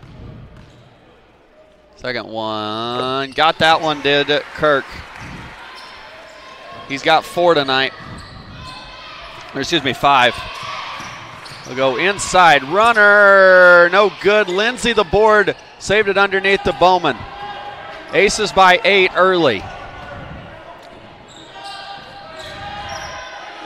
We'll get it off. Kirk We'll skip it backside. Colson Cook's already hit one three. Andrew Bowman's going to go all the way inside and finish it.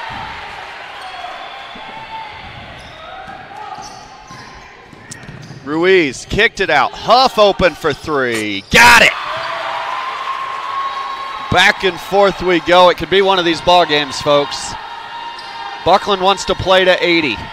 The difference in this year's Bucklin team and last year's Bucklin team is Bucklin's team last year could win defensive battles that were 45 to 40. This year's team, I'm not sure that they can do that.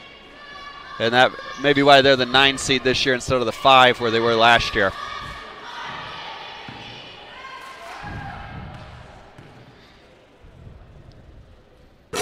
Kirk left that one a little bit short. Caden Tilley's in the ballgame for Bucklin now is double zero in red, and then now into the ballgame for Spearville going to be Josiah Metling, the 6'2 senior. That free throw good from Kirk. He's got six. Stempered into the ballgame for Kirk. Six quick points there uh, for the sophomore. Averages 10 a night. One of four Bucklin guys that averages at least 10 a night. Huff hit one from that exact spot just a second ago. Outside. Ruiz catching fire. Off the front iron, no good. Offensive board, though. Inside out. Ruiz will try again, no good. Bowman the board. Bucklin looking to run. Up ahead. Stemper. Layup no good. Andrew Bowman almost pulled down the board. Out of bounds will go to the Lancers. Garen Stemper, you see there laid out after it. Blake Werner will check into the ball game here for Spearville now as Huff will come out.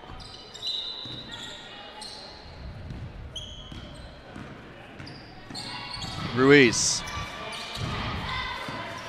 Inside, all the way in, left-handed no, jumper, no good. Out of bounds, going to stay with Spearville.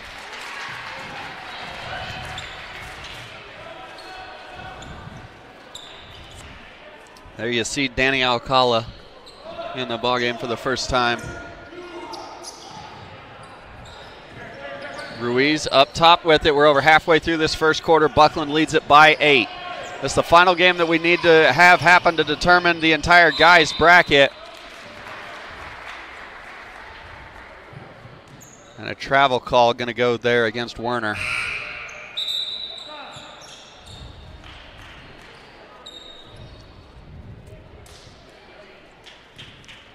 Werner will check back out of the ball game as uh, Huff got a breather and back out there now for the Lancers. Knocked down that three early. And it has been lightning quick speed here so far from both of these teams tonight. They're going to go inside Lindsay. Had it poked free, kicked back out. Stempert, they're going to say it was deflected. Bowman, the crossover, took it inside, no good. Lindsay taps it back up and in. He's the fifth red ace to score tonight. All of the starters have now scored for Bucklin. Into the corner. Three ball on the way. Off the front iron, no good. Alcala couldn't quite knock it down, just left it a little bit short.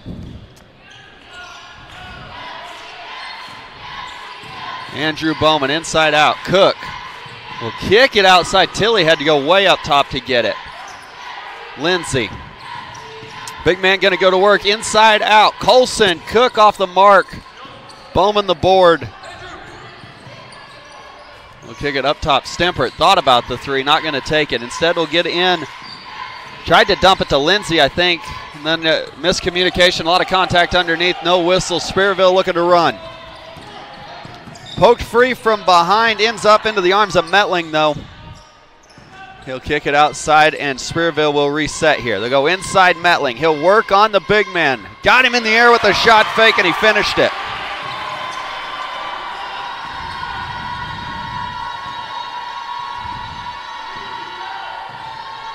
Spearville's crowd trying to get some noise into this building. A little bit of life for them. Stemper. No good. Lindsay the board outside. Andrew Bowman on the reload will silence the crowd. 18 to 7. It's a Red Ace team that's averaging 65 points a night. Inside out. Thought about the three there, did Kressler. He'll get thrown out of bounds. Kirk back into the ball game for Cook. And Huff will come in as well. There you see Lindsay on the reload, found Bowman who buried it.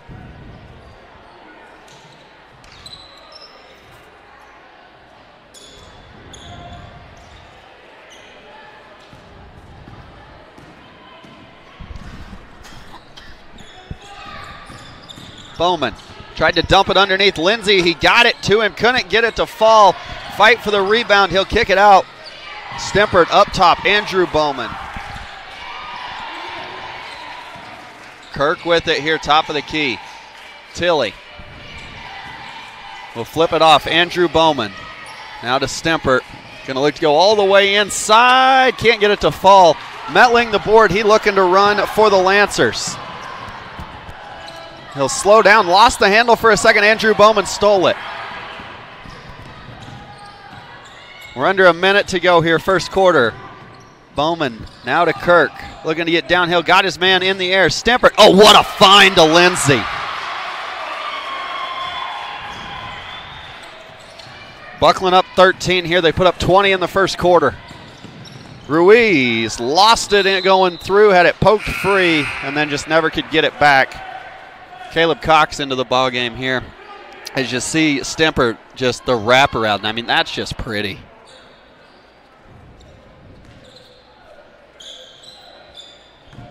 Thirty-eight seconds going at the pace of this one. Both teams can still have it two more times.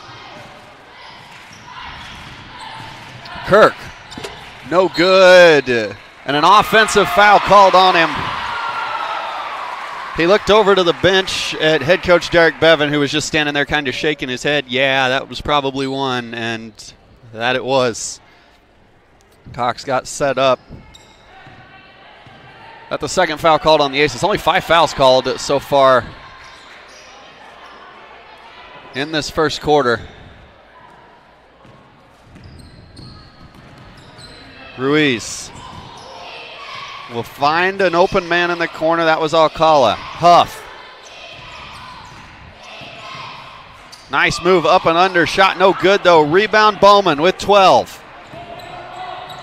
We'll find Kirk in the corner. Catch and fire. No good. Rebound tapped around. Tilley's got it. Garen Stempert with four. No good. Rebound pulled down by Kressler. And that's going to be the end of the first quarter. Bucklin hangs 20 on Spearville. They uh, lead it by 13. All five starters have scored for Bucklin. Second quarter coming up after this.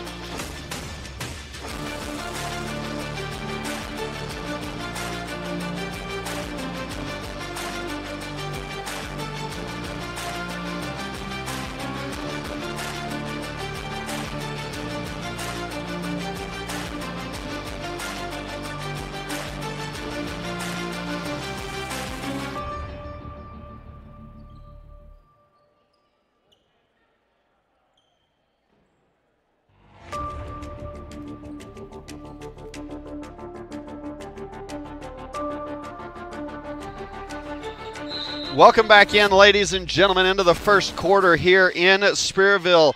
And it's the nine seed Bucklin up by 13. They've hung 20 on the Lancers in the first quarter, and they have all five starters have scored. Kirk will kick it outside Stempert. Oh, he went behind the back, dumped it underneath. And he finds Kirk. Three ball off the mark, no good. Rebound pulled down by Alcala, or excuse me, by Ruiz, and he's going to run it up himself. Went all the way in, kicked it out. Open three ball, no good. Rebound Kressler. Back out. Huff's got one three. Can't get that one to fall. And I really hope you brought your track shoes today, folks, because that first quarter, it's a sprint, but it's going to be a sprint for four quarters. Three ball off the mark, no good. Tilley pulled down the board, and the possession arrow is going to give it to Spearville. We told you it was going to be a sprint. Well, neither team has taken a timeout in that first quarter. And there wasn't exactly a lot of dead balls. That one, dangerous pass, but it gets through. Cleason, no good. Rebound, Bowman looking to run. Seven minutes to go. Second quarter. Cook up top, Stempert. Kirk calling for it in the corner. Instead, he dumped it underneath. Tilley can't get it to finish or can't get it to go down. And that foul going to go on the Lancers, and Caden Tilley going to go to the line for two shots.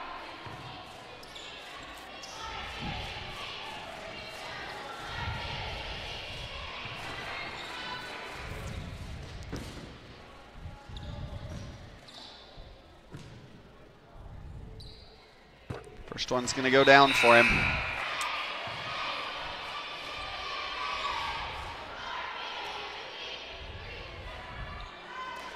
Tilley, just a 31% free throw shooter on the year for the Aces.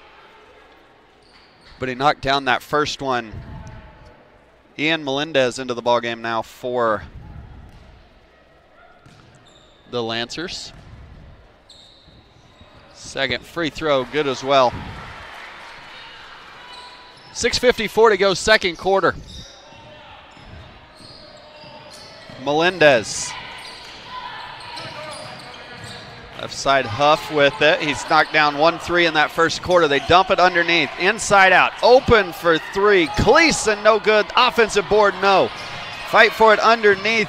Coming downhill. Got everybody in the air, and it's going to go down for Jarrett Cleason. Backside pass. Stimpert thought about the three, going to get inside. He's passed it. Exceptional today, and Andrew Bowman unable to finish it. And Caden Tilley's going to go back to the line for two more. As uh, here you see inside, got both Bowman and I believe that was Tilley in the air, and he was able to knock it down.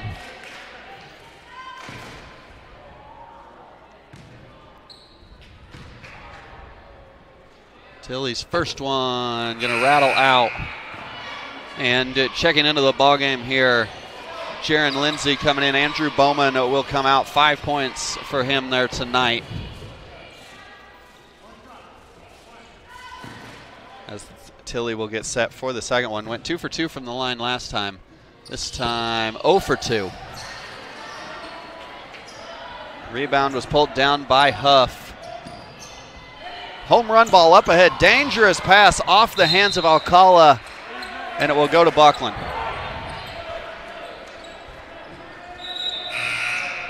Set to check back into the ballgame, Ruiz. After a high scoring first quarter, just four total points scored here in this second quarter so far, almost two minutes gone by.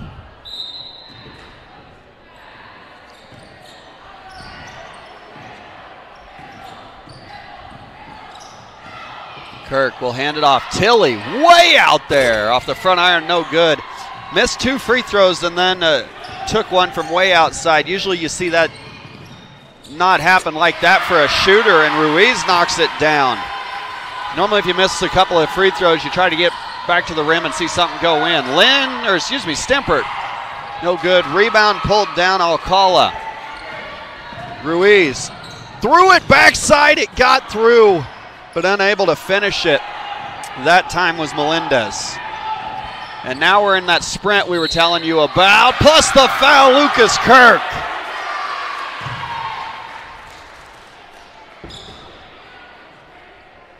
As I believe that foul going to go on Cleason. As here you see inside, just caught just enough of that shoulder of Cleason for it to be one. Sixth foul on the Lancers. The sophomore on the line. One free throw coming for him here. Can't get it to fall.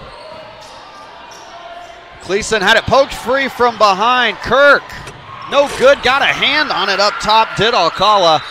And then Kirk going to pick up the foul here.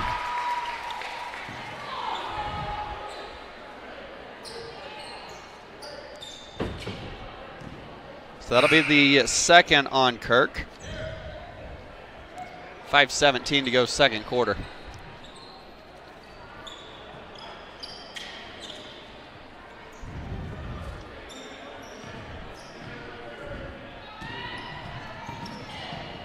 into the corner. Thought about the three. Instead, we'll kick it out. Ruiz has gotten to the rim pretty well tonight. Can't get that one to fall, though. Home run ball up ahead. Colson Cook being tracked down. Layup is good. He's got five. Aces back up 15. Five minutes to go here in the second quarter in Spearville, the 8 9 matchup. Winner gets Meade on Tuesday.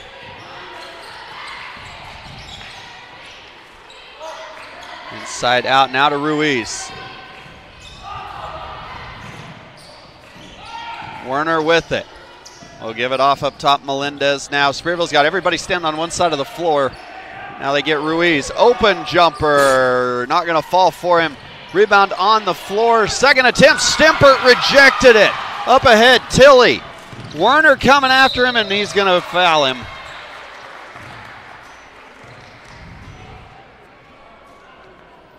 So Werner will pick up what I believe is his first, and it will put Caden Tilley back to the free throw line.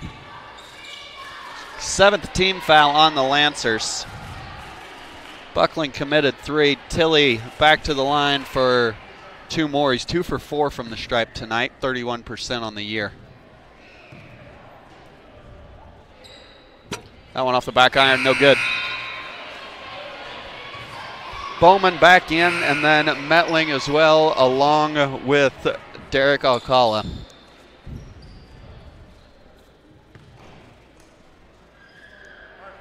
Ian Melendez will take a seat there. 4.19 to go, second quarter. Able to get that one to go down is Tilley. He's got three tonight.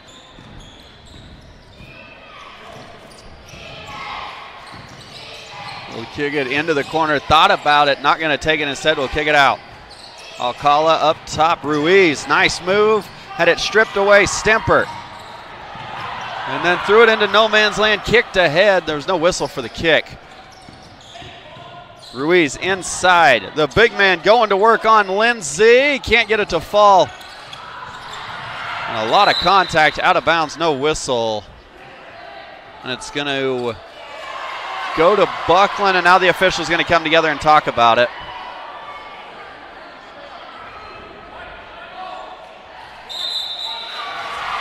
And they're going to change the call. It's going to go to Spearville. And I believe they got it right.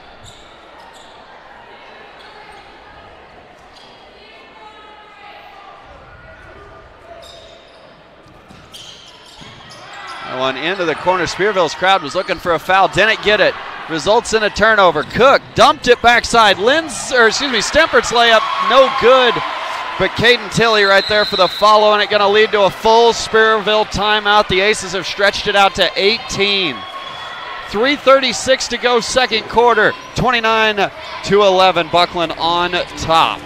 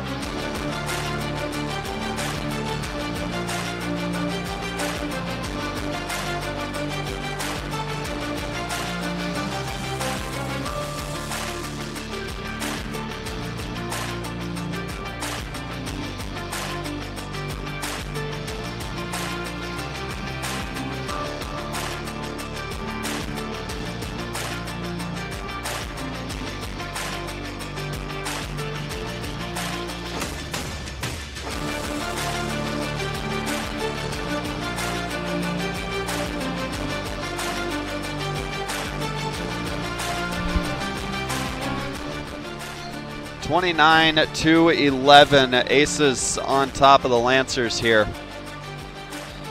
Six different guys have scored for Bucklin. Four for the Lancers. Nobody with more than four. Cleason with four for Spearville. They'll get it into the middle here. Outside thought about the three. Not going to take it though. Almost a trap in the corner. Ruiz lost it. Saved it underneath. Huff got it. He's got five.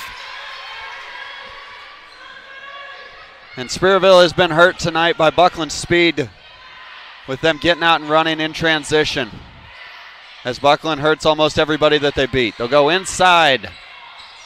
That one poked free, stolen away Ruiz. Will throw it up ahead, just threw it a little bit too far there for Derek Alcala.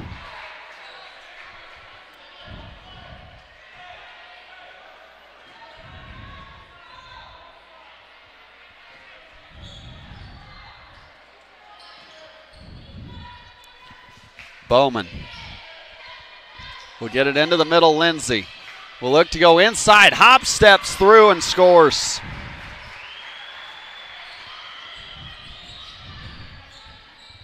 It was 20 to 7 at the end of the first quarter. Aces have put 11 up this quarter. Spearville 6. They'll skip it backside. Ruiz off the back iron, no good. Rebound Huff. Got another one. He's got seven tonight for Spearville. We'll go inside. Stemper dumped it underneath, but it was poked free. Coming through to get a piece of that one was Alcala, and then Bucklin stole it back. Cook dumped it off. Couldn't finish, though, could Stemper. And then he uh, got his own board, put it back up and in.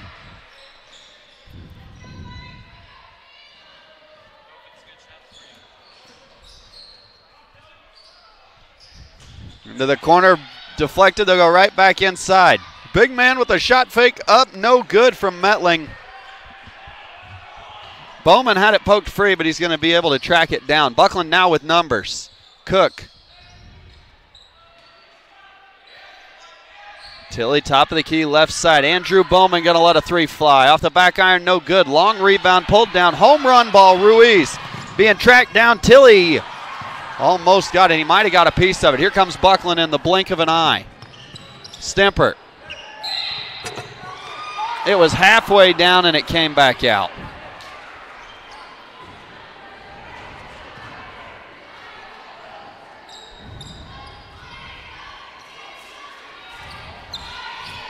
That foul going to go on Alcala. It's his first.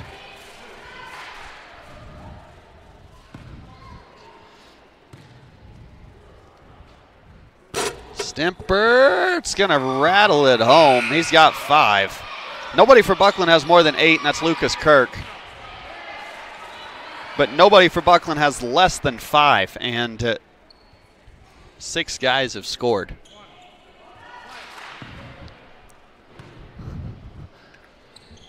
Stemper, no good. Lindsay got a piece of it, and now Spearville looking to run. Ruiz and Bowman going to pick up the foul. So Andrew picks up his first. It'll be the fourth team foul on Bucklin.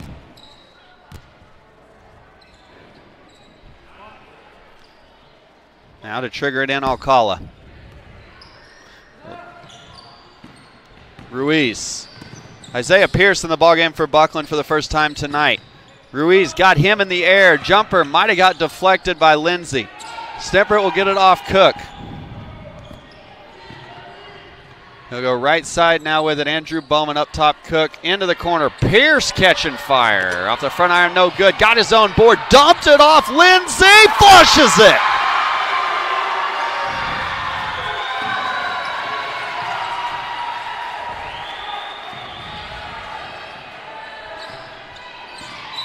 Pierce going to pick up the blocking foul there. Hit the deck hard. As here you see Lindsay, the power dribble. We'll give it to him. White man dunk.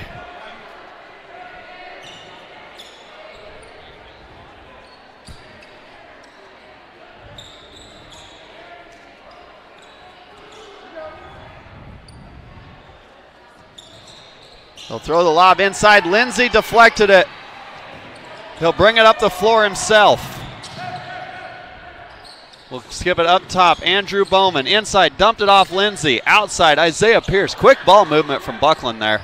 And then he threw it away, threw it right to Ruiz. Bowman's tracking him down, just going to let him have the layup.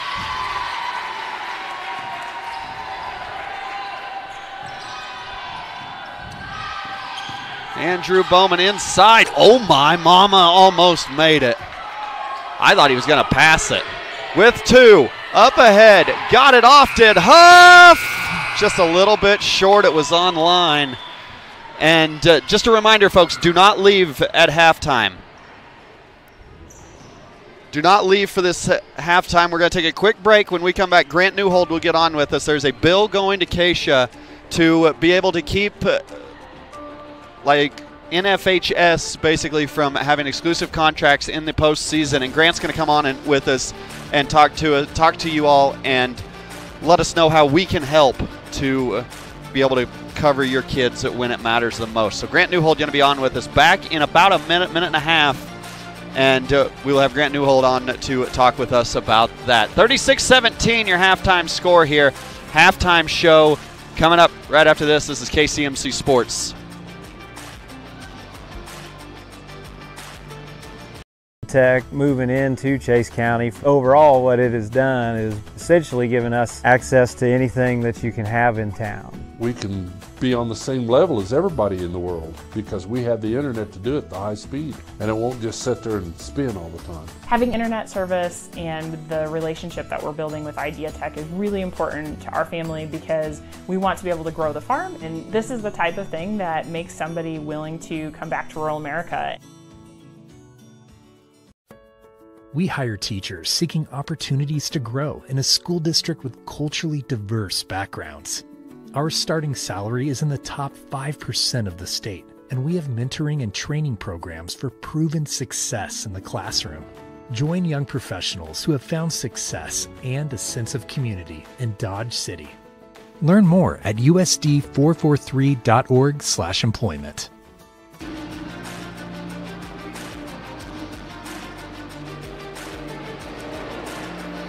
Welcome back in, ladies and gentlemen. 36 to 17 is your halftime score here, and Bucklin leads it behind six different players scoring at least five points. Lindsay with eight, Lucas Kirk with eight as well. And at this time, we'll welcome you into our quote unquote broadcast booth here. Grant Newhold is along to my left. And Grant, this is something that's going to the Senate that there's a bill that is going to basically try to keep NFHS and other entities like that from being able to have exclusive contracts when it matters the most for the state tournaments and playoff stuff. And just you want to talk a little bit more about that and what everybody can do. Yeah, so what I found out just last night, luckily, Open Spaces Sports who covers all of Western Kansas, um, has put out a really in depth post about this information. Um, it was actually your mother that brought it to my attention last night. Um, and so, what this is going to do is uh, bring a bill about that will allow us to actually cover postseason play. Uh, we have get gotten locked out in the last few years from the NFHS contract, so that we cannot continuously cover the kids into the postseason because of that contract. So if a school has an NFHS uh, subscription contract, we are locked out. And so what this Senate bill is is a way of allowing us to continue to cover the kids and follow them into the postseason and not have NFHS have that exclusive. Yep. And uh, so uh, if uh, let's say people at home want to help get involved and be able to uh, let their voice be heard because the vote's on Monday. Yes. And so uh, if they don't want to have to drive up and actually be a part of the meeting, what's something that they can do to be able to help with that? Yeah, so that hearing is taking place on Monday around 1:30 in Topeka. And yeah, not a, not everybody can just take off and go to voice their opinion, but you can email the the Senate committee members who are in charge of that.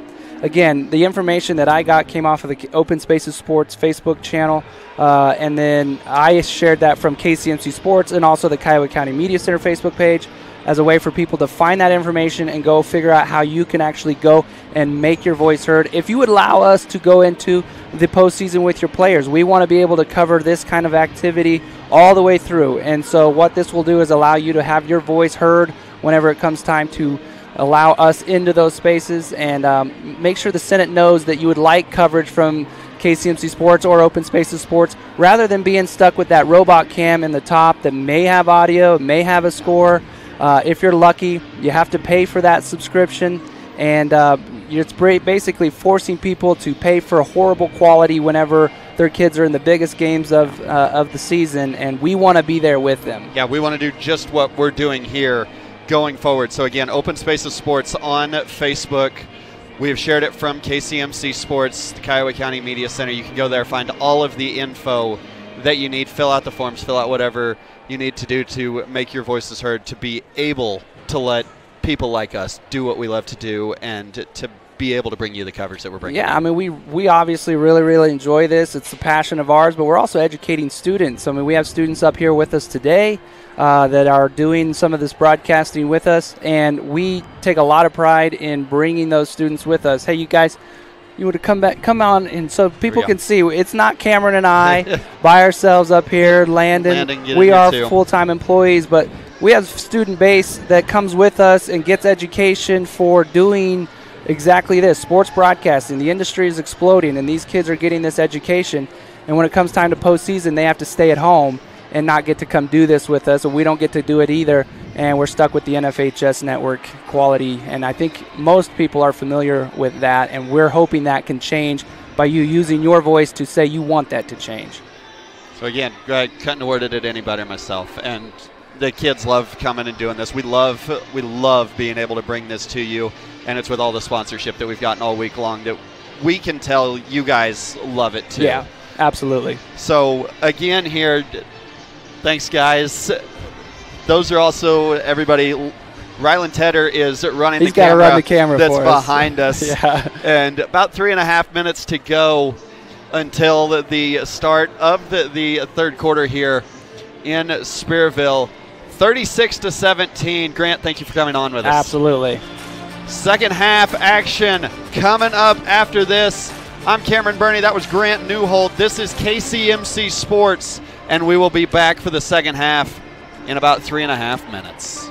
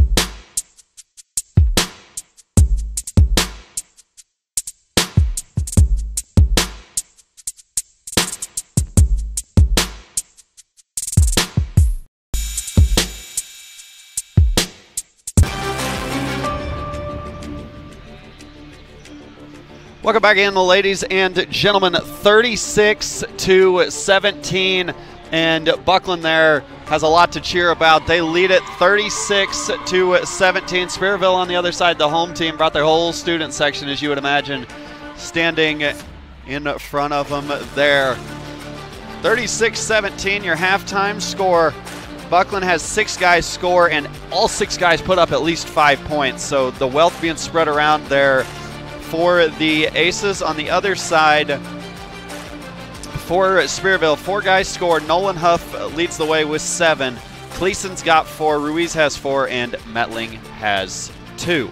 Spearville going to start the second half with us. And then uh, for Bucklin, Tilley, Stemper, Bowman all with five to go in with Cooks five.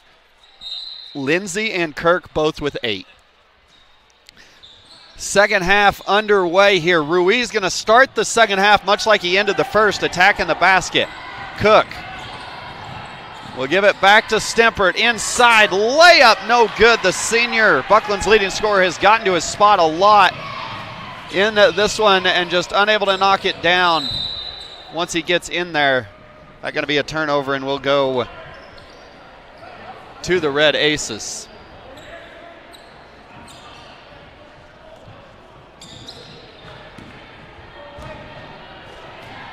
Bowman will bring it up. Five points in the first half for him. Cook is tied for the lead with the scores with Lindsay. Stolen away by Ruiz. Two on one. He's going to take it himself. Flipped it up. No. The follow. No. Third chance for Spearville. No. And Bowman will bring it up here for Bucklin. These two teams play lightning quick. Lucas Kirk, no good. Here we go, folks. It's a sprint, but it's a four quarter sprint. He went to go behind the back. And uh, Coach Applegate not happy with that there from Ruiz. Alcala set to get it in here. Will do so to Huff in the corner. That one going to be an offensive foul. The official changed his mind about three times after he blew the whistle. It was going to be a charge, then it was going to be a block, then it was going to be a charge again, and we'll see if we get a look at it here. As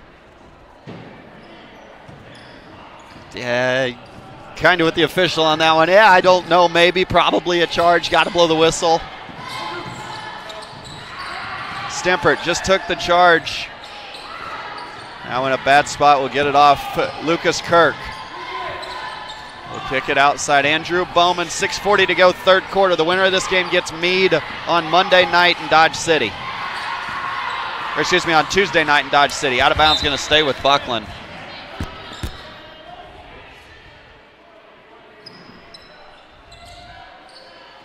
Thirty-six seventeen.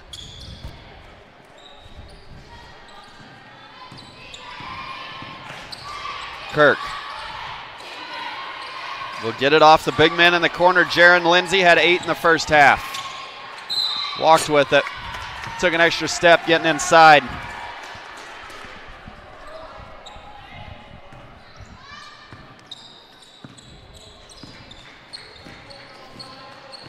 Six fifteen to go, third quarter, 36-17, Aces with the lead. Inside out. Three ball on the way. Too hard. Long rebound, though, tracked down by Kressler. Stolen away. Bowman wanted to throw it deep, smartly not going to. Instead, he'll hesitate, go all the way inside. Dumped it off to Lindsay at the last second, and he scored it. He's got 10, and the lead's all the way up to 21 now for Bucklin. That one deflected, but Ruiz will track it down. 5.40 to go, third quarter.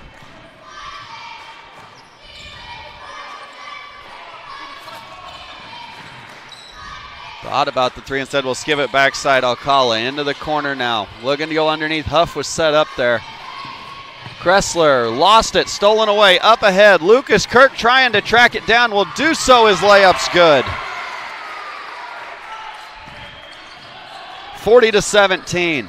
Stemper read it the whole way he stole it. It's a two on one. Make it a three on one. Took it himself. No good, but he'll go to the line for two.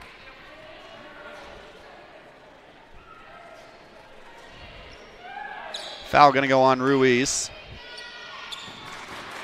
His second second team foul on Spearville here in the second half.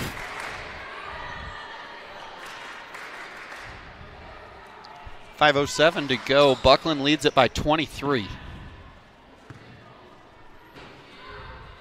One. Gonna knock it down with the senior Danny Alcala along with Werner into the ball game and Ian Melendez for Spearville. As Coach Applegate looking for some lineup that will work against Bucklin here in the second half, run and gun. That one no good.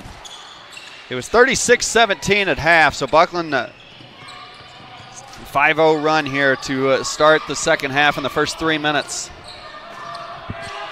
Werner will get it off here. Melendez outside. Ruiz open for three. No good off the front iron. Stemper pulls down the board. Shook off Kirk. He wanted to throw it to him. Instead, he'll go Colson Cook. Inside, all the way in. Hit the deck hard. Layup is good from Cook.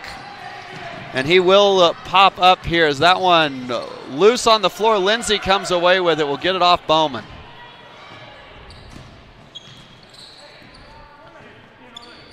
Forty-three seventeen. Kirk inside had it stripped, but a foul first.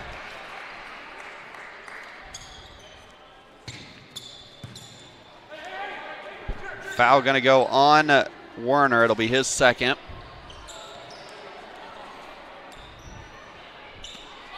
Bucklin looking to get it in. They have everybody staying way back, and they found Stemper right underneath their own basket.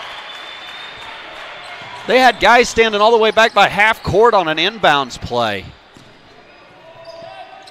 And it leads to a wide open bucket from Stemper, and he'll pick up a foul there.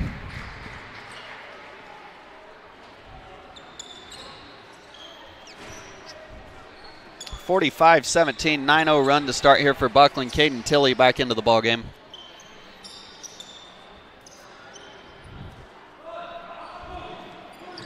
Get in. Cook went for the steal, didn't get it. Dumps it off. Open jumper. Alcala no good. Long board. Cook will track it down. Saved it dangerously under Spearville's basket, but Spearville was already getting back on defense. Bowman up top. Cook will get downhill. Dumped it off. Lindsay, the reverse layup is good. He's got 12. Bucklin stretched it to 30.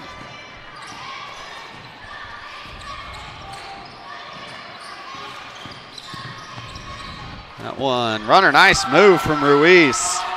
I'll tell you what, if Bucklin is shooting this well and run and playing this good come uh, Tuesday night, they may give Meade a run for their money.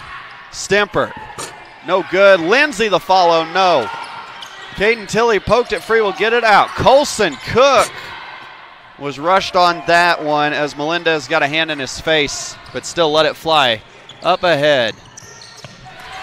At Ian Melendez, his first basket of the night. Bowman stripped on the way through. Spearville looking to run, will do so. Werner going to go all the way inside. Offensive foul. Tilley set up for the charge.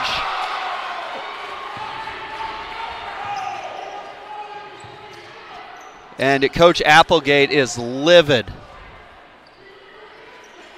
And I think he's got a point till he turned at the end.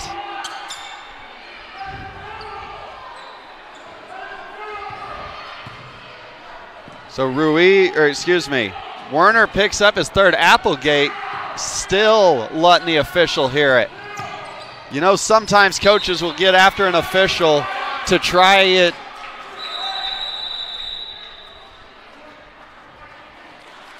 Sometimes coaches will uh, make their voice heard a little bit extra, trying to get teed up maybe to put some life into a crowd or into a team to get them back into it. And I almost wonder if that's what Eli was trying to do there. He got a warning, did not get teed up, and if he's going to get it, his chance is going to be right here with the official that made the call standing in front of him, but he looks like he's going to move on and accept the warning. Tilley pulled down the board, going to race up ahead, no look pass. Kirk's layup, no good. Ruiz dumped it off. Jumper, no good. Tilley pulls down the board. Bucklin looking to run again. That foul going to be on the floor. And Melendez will pick it up. It'll be his second. The fifth foul on Spearville here in the third quarter. 2.03 to go. Bucklin lead by 26. That one going to be a foul on Metling, reaching around the back.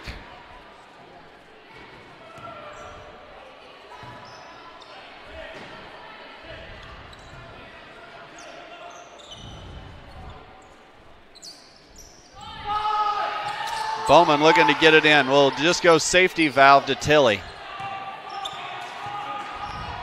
We'll get it off Lindsay here, top of the key. They left the big man open. Three ball, no good.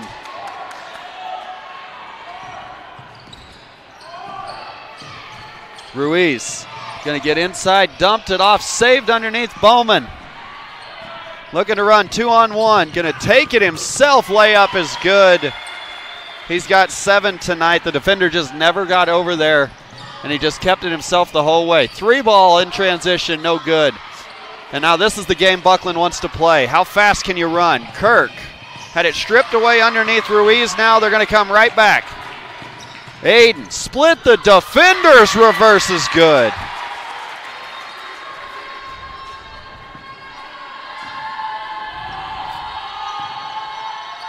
Tilley wa- or excuse me, that Bowman walked with it. So here you see right between the two defenders, right in the soft spot, and able to get the reverse to go down.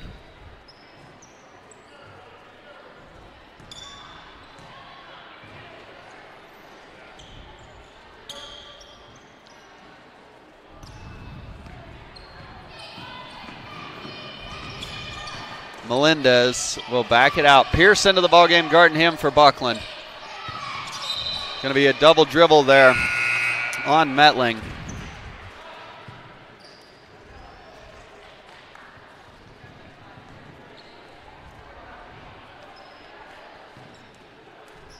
Fifty-seven seconds to go here in the third quarter.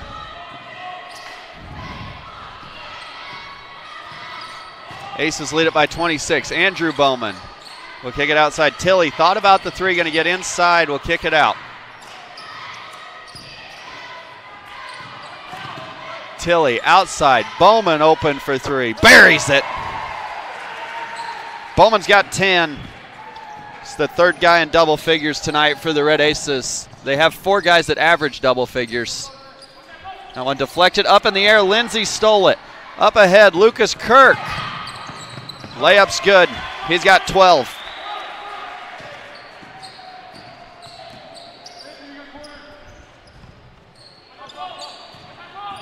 Behind the back move, inside out. Open three. Melendez no good with five. With three. Shot up, and it's going to go down to end the half there for Caleb Cox. His first bucket of the night. But Bucklin leads it by 29 going to the fourth quarter. The Aces looking to run away with this thing. Eight minutes remaining. They're looking to go on to play the number one seeded Meade Buffaloes back after this on KCMC Sports.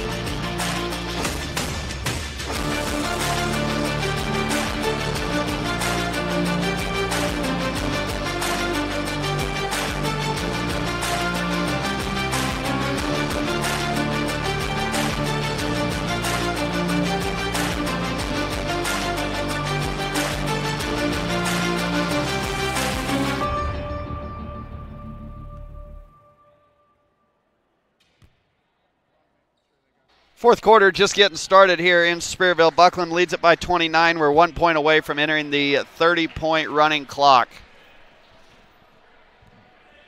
Or as our producer Grant Newhold likes to call it, turbo clock. As now the officials talking about something on the side. A book got passed down. And I'm trying to look to see who might be in the ball game for the first time, and I don't think anybody is. And um, I guess we're ready for play. Okay. It's been an interesting day for this officiating crew, to say the least.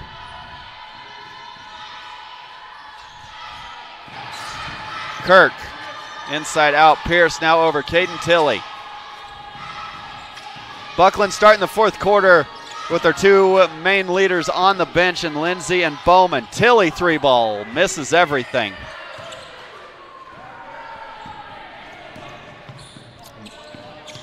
That one poked free, but a foul call going to go on Pierce as Werner was headed inside.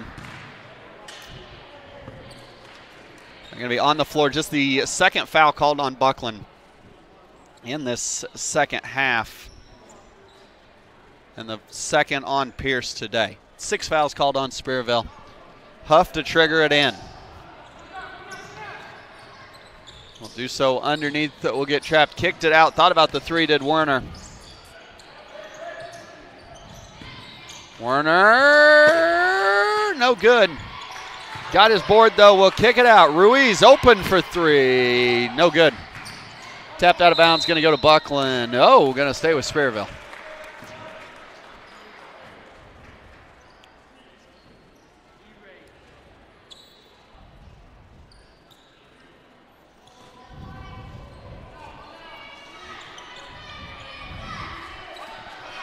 Got to be close to a five count, and it finally is. And I'm not sure that that one would have been uh, anything other than a turnover anyway, as the fade route down the right sideline. 7-12 to go, fourth quarter, 29-point ball game. Kirk. That one poked free, but a foul call.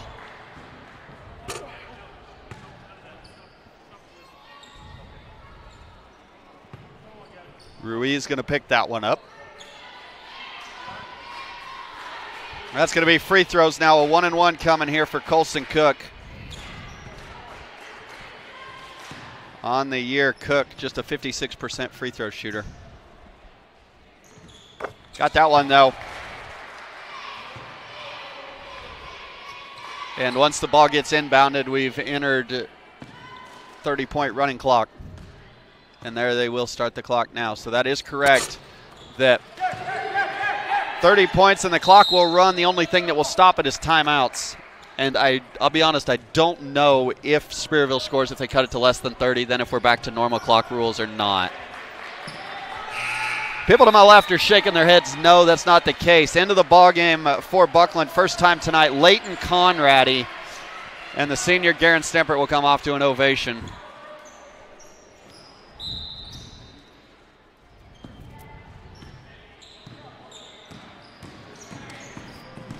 Ahead Ruiz will be fouled.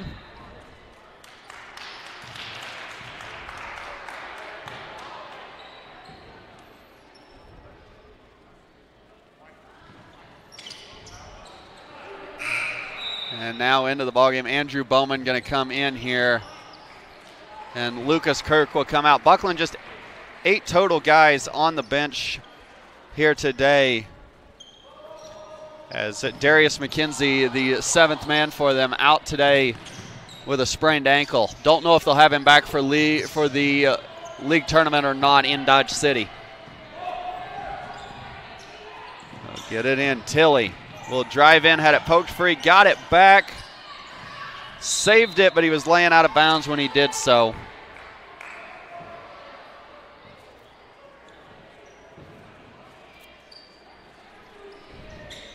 Tilley, five points for him tonight.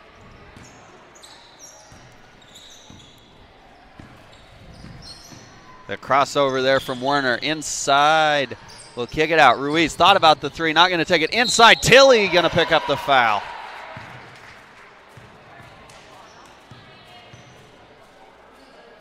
Five oh five to go and counting here. Two free throws coming for Ruiz.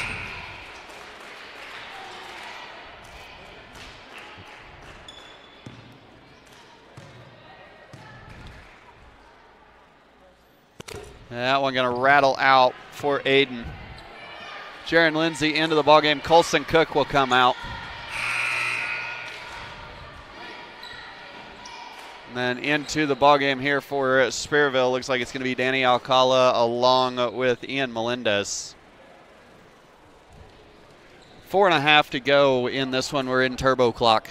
30 point lead for the Aces. They will move on to play Meade. An offensive rebound dumped underneath. Outside open for three. Off the back iron, no good. Andrew Bowman the rebound.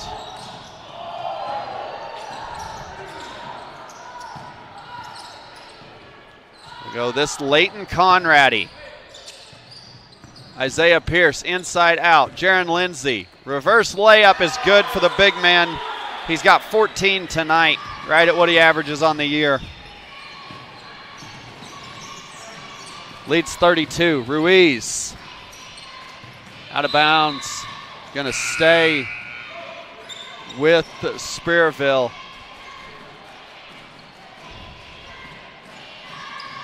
As now into the ballgame, uh, Layson Wheaton.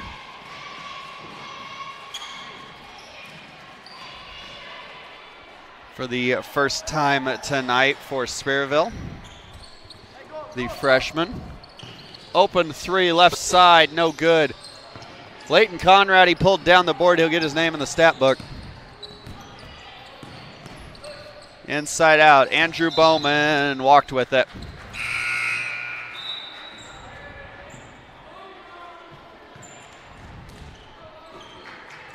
As Lucas Kirk will check in, and Lindsay and Bowman will come out here as Cook in as well. So the three main scorers for the Red Aces now on the bench, three minutes to go, up 32.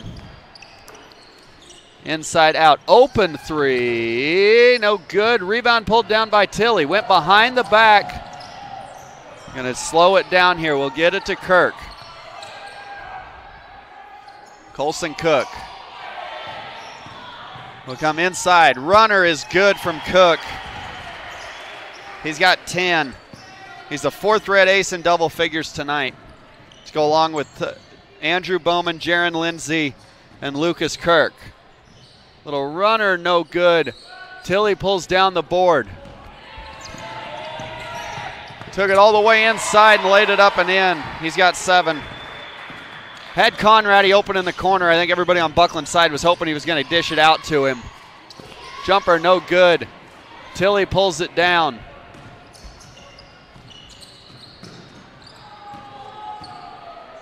He'll hand it off Kirk. Pierce looking to get inside. Layup no good. Isaiah Pierce just six points scored on the year. Leighton Conradi in the ballgame, only one field goal for him so far this year. Three ball off the mark, no good. Long board. Tilley tracked it down and then threw it into no man's land. Got his man in the air, layup up and good there. Danny Alcala's got his name in the stat book. Into the corner, Leighton Conradi, no good.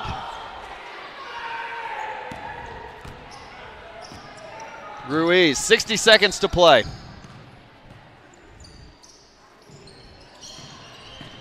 Cox dumped it off underneath. And a foul call going to go on Colson Cook.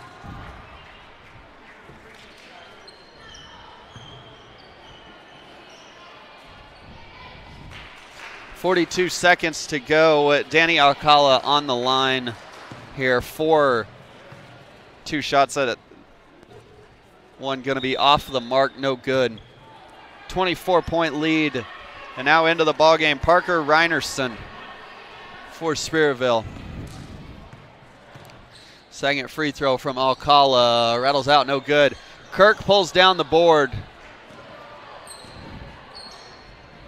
Work back to the left on Melendez, and we'll just bring it up. Gets it to Tilley. Kirk will hold it with eight. Back to Tilley. And they'll come top of the key. Pierce. And that one going to go out of bounds. And Coach Derek Bevan not happy as 34 point win and they uh, throw it away to end the game. Bucklin, you see there, most of that the girls team. They are the two seed going to the league tournament. They will play Monday, but the guys bracket is complete. 61 to 27 your final here. You see the Red Aces led by Jaron Lindsay with 14. Head coach Derek Bevan and Coach Applegate. Right there, a lot of respect between those two coaches. Bucklin wins at 61 to 27, and there you see the updated bracket for the rest of the week. Bucklin advances and then in the other games that were not here, South Central beats Ashland, and then uh, Minneola defeats Ingalls. So two quote unquote upsets. The nine beats the eight, and the 10 beats the seven. First game on Tuesday in the main bracket will be at 3 o'clock. South Gray and South Central, the 4 5 matchup. But we're done in Spearville. The play in games, the bracket is fully complete now. So uh, we will have games for you all week long in Dodge City. Your final score here, one more time tonight on the guys' side. Kiowa County defeats Satanta 62 43, and then Bucklin defeats Spearville 61 to 27. Again, a massive thank you to all of our sponsors that have made it possible for us to not just come to Spearville for the first time with our full setup, but to be able to uh, take as much of a crew as we can to Dodge City for the entire week. So once again, folks, I'm Cameron Burney for Grant Newhold, Landon Eilert, Tanner and Kason Fulton, and Rylan Tedder. Those guys were all running cameras. Grant Newhold was producing. I'm Cameron Burney. Thank you so much for being with us these last couple of days. And one final time from Spearville, we will see you Monday morning, 11:30 first tip in Dodge City. I'm Cameron Burney. Thanks for watching. This is Spearville. Good night.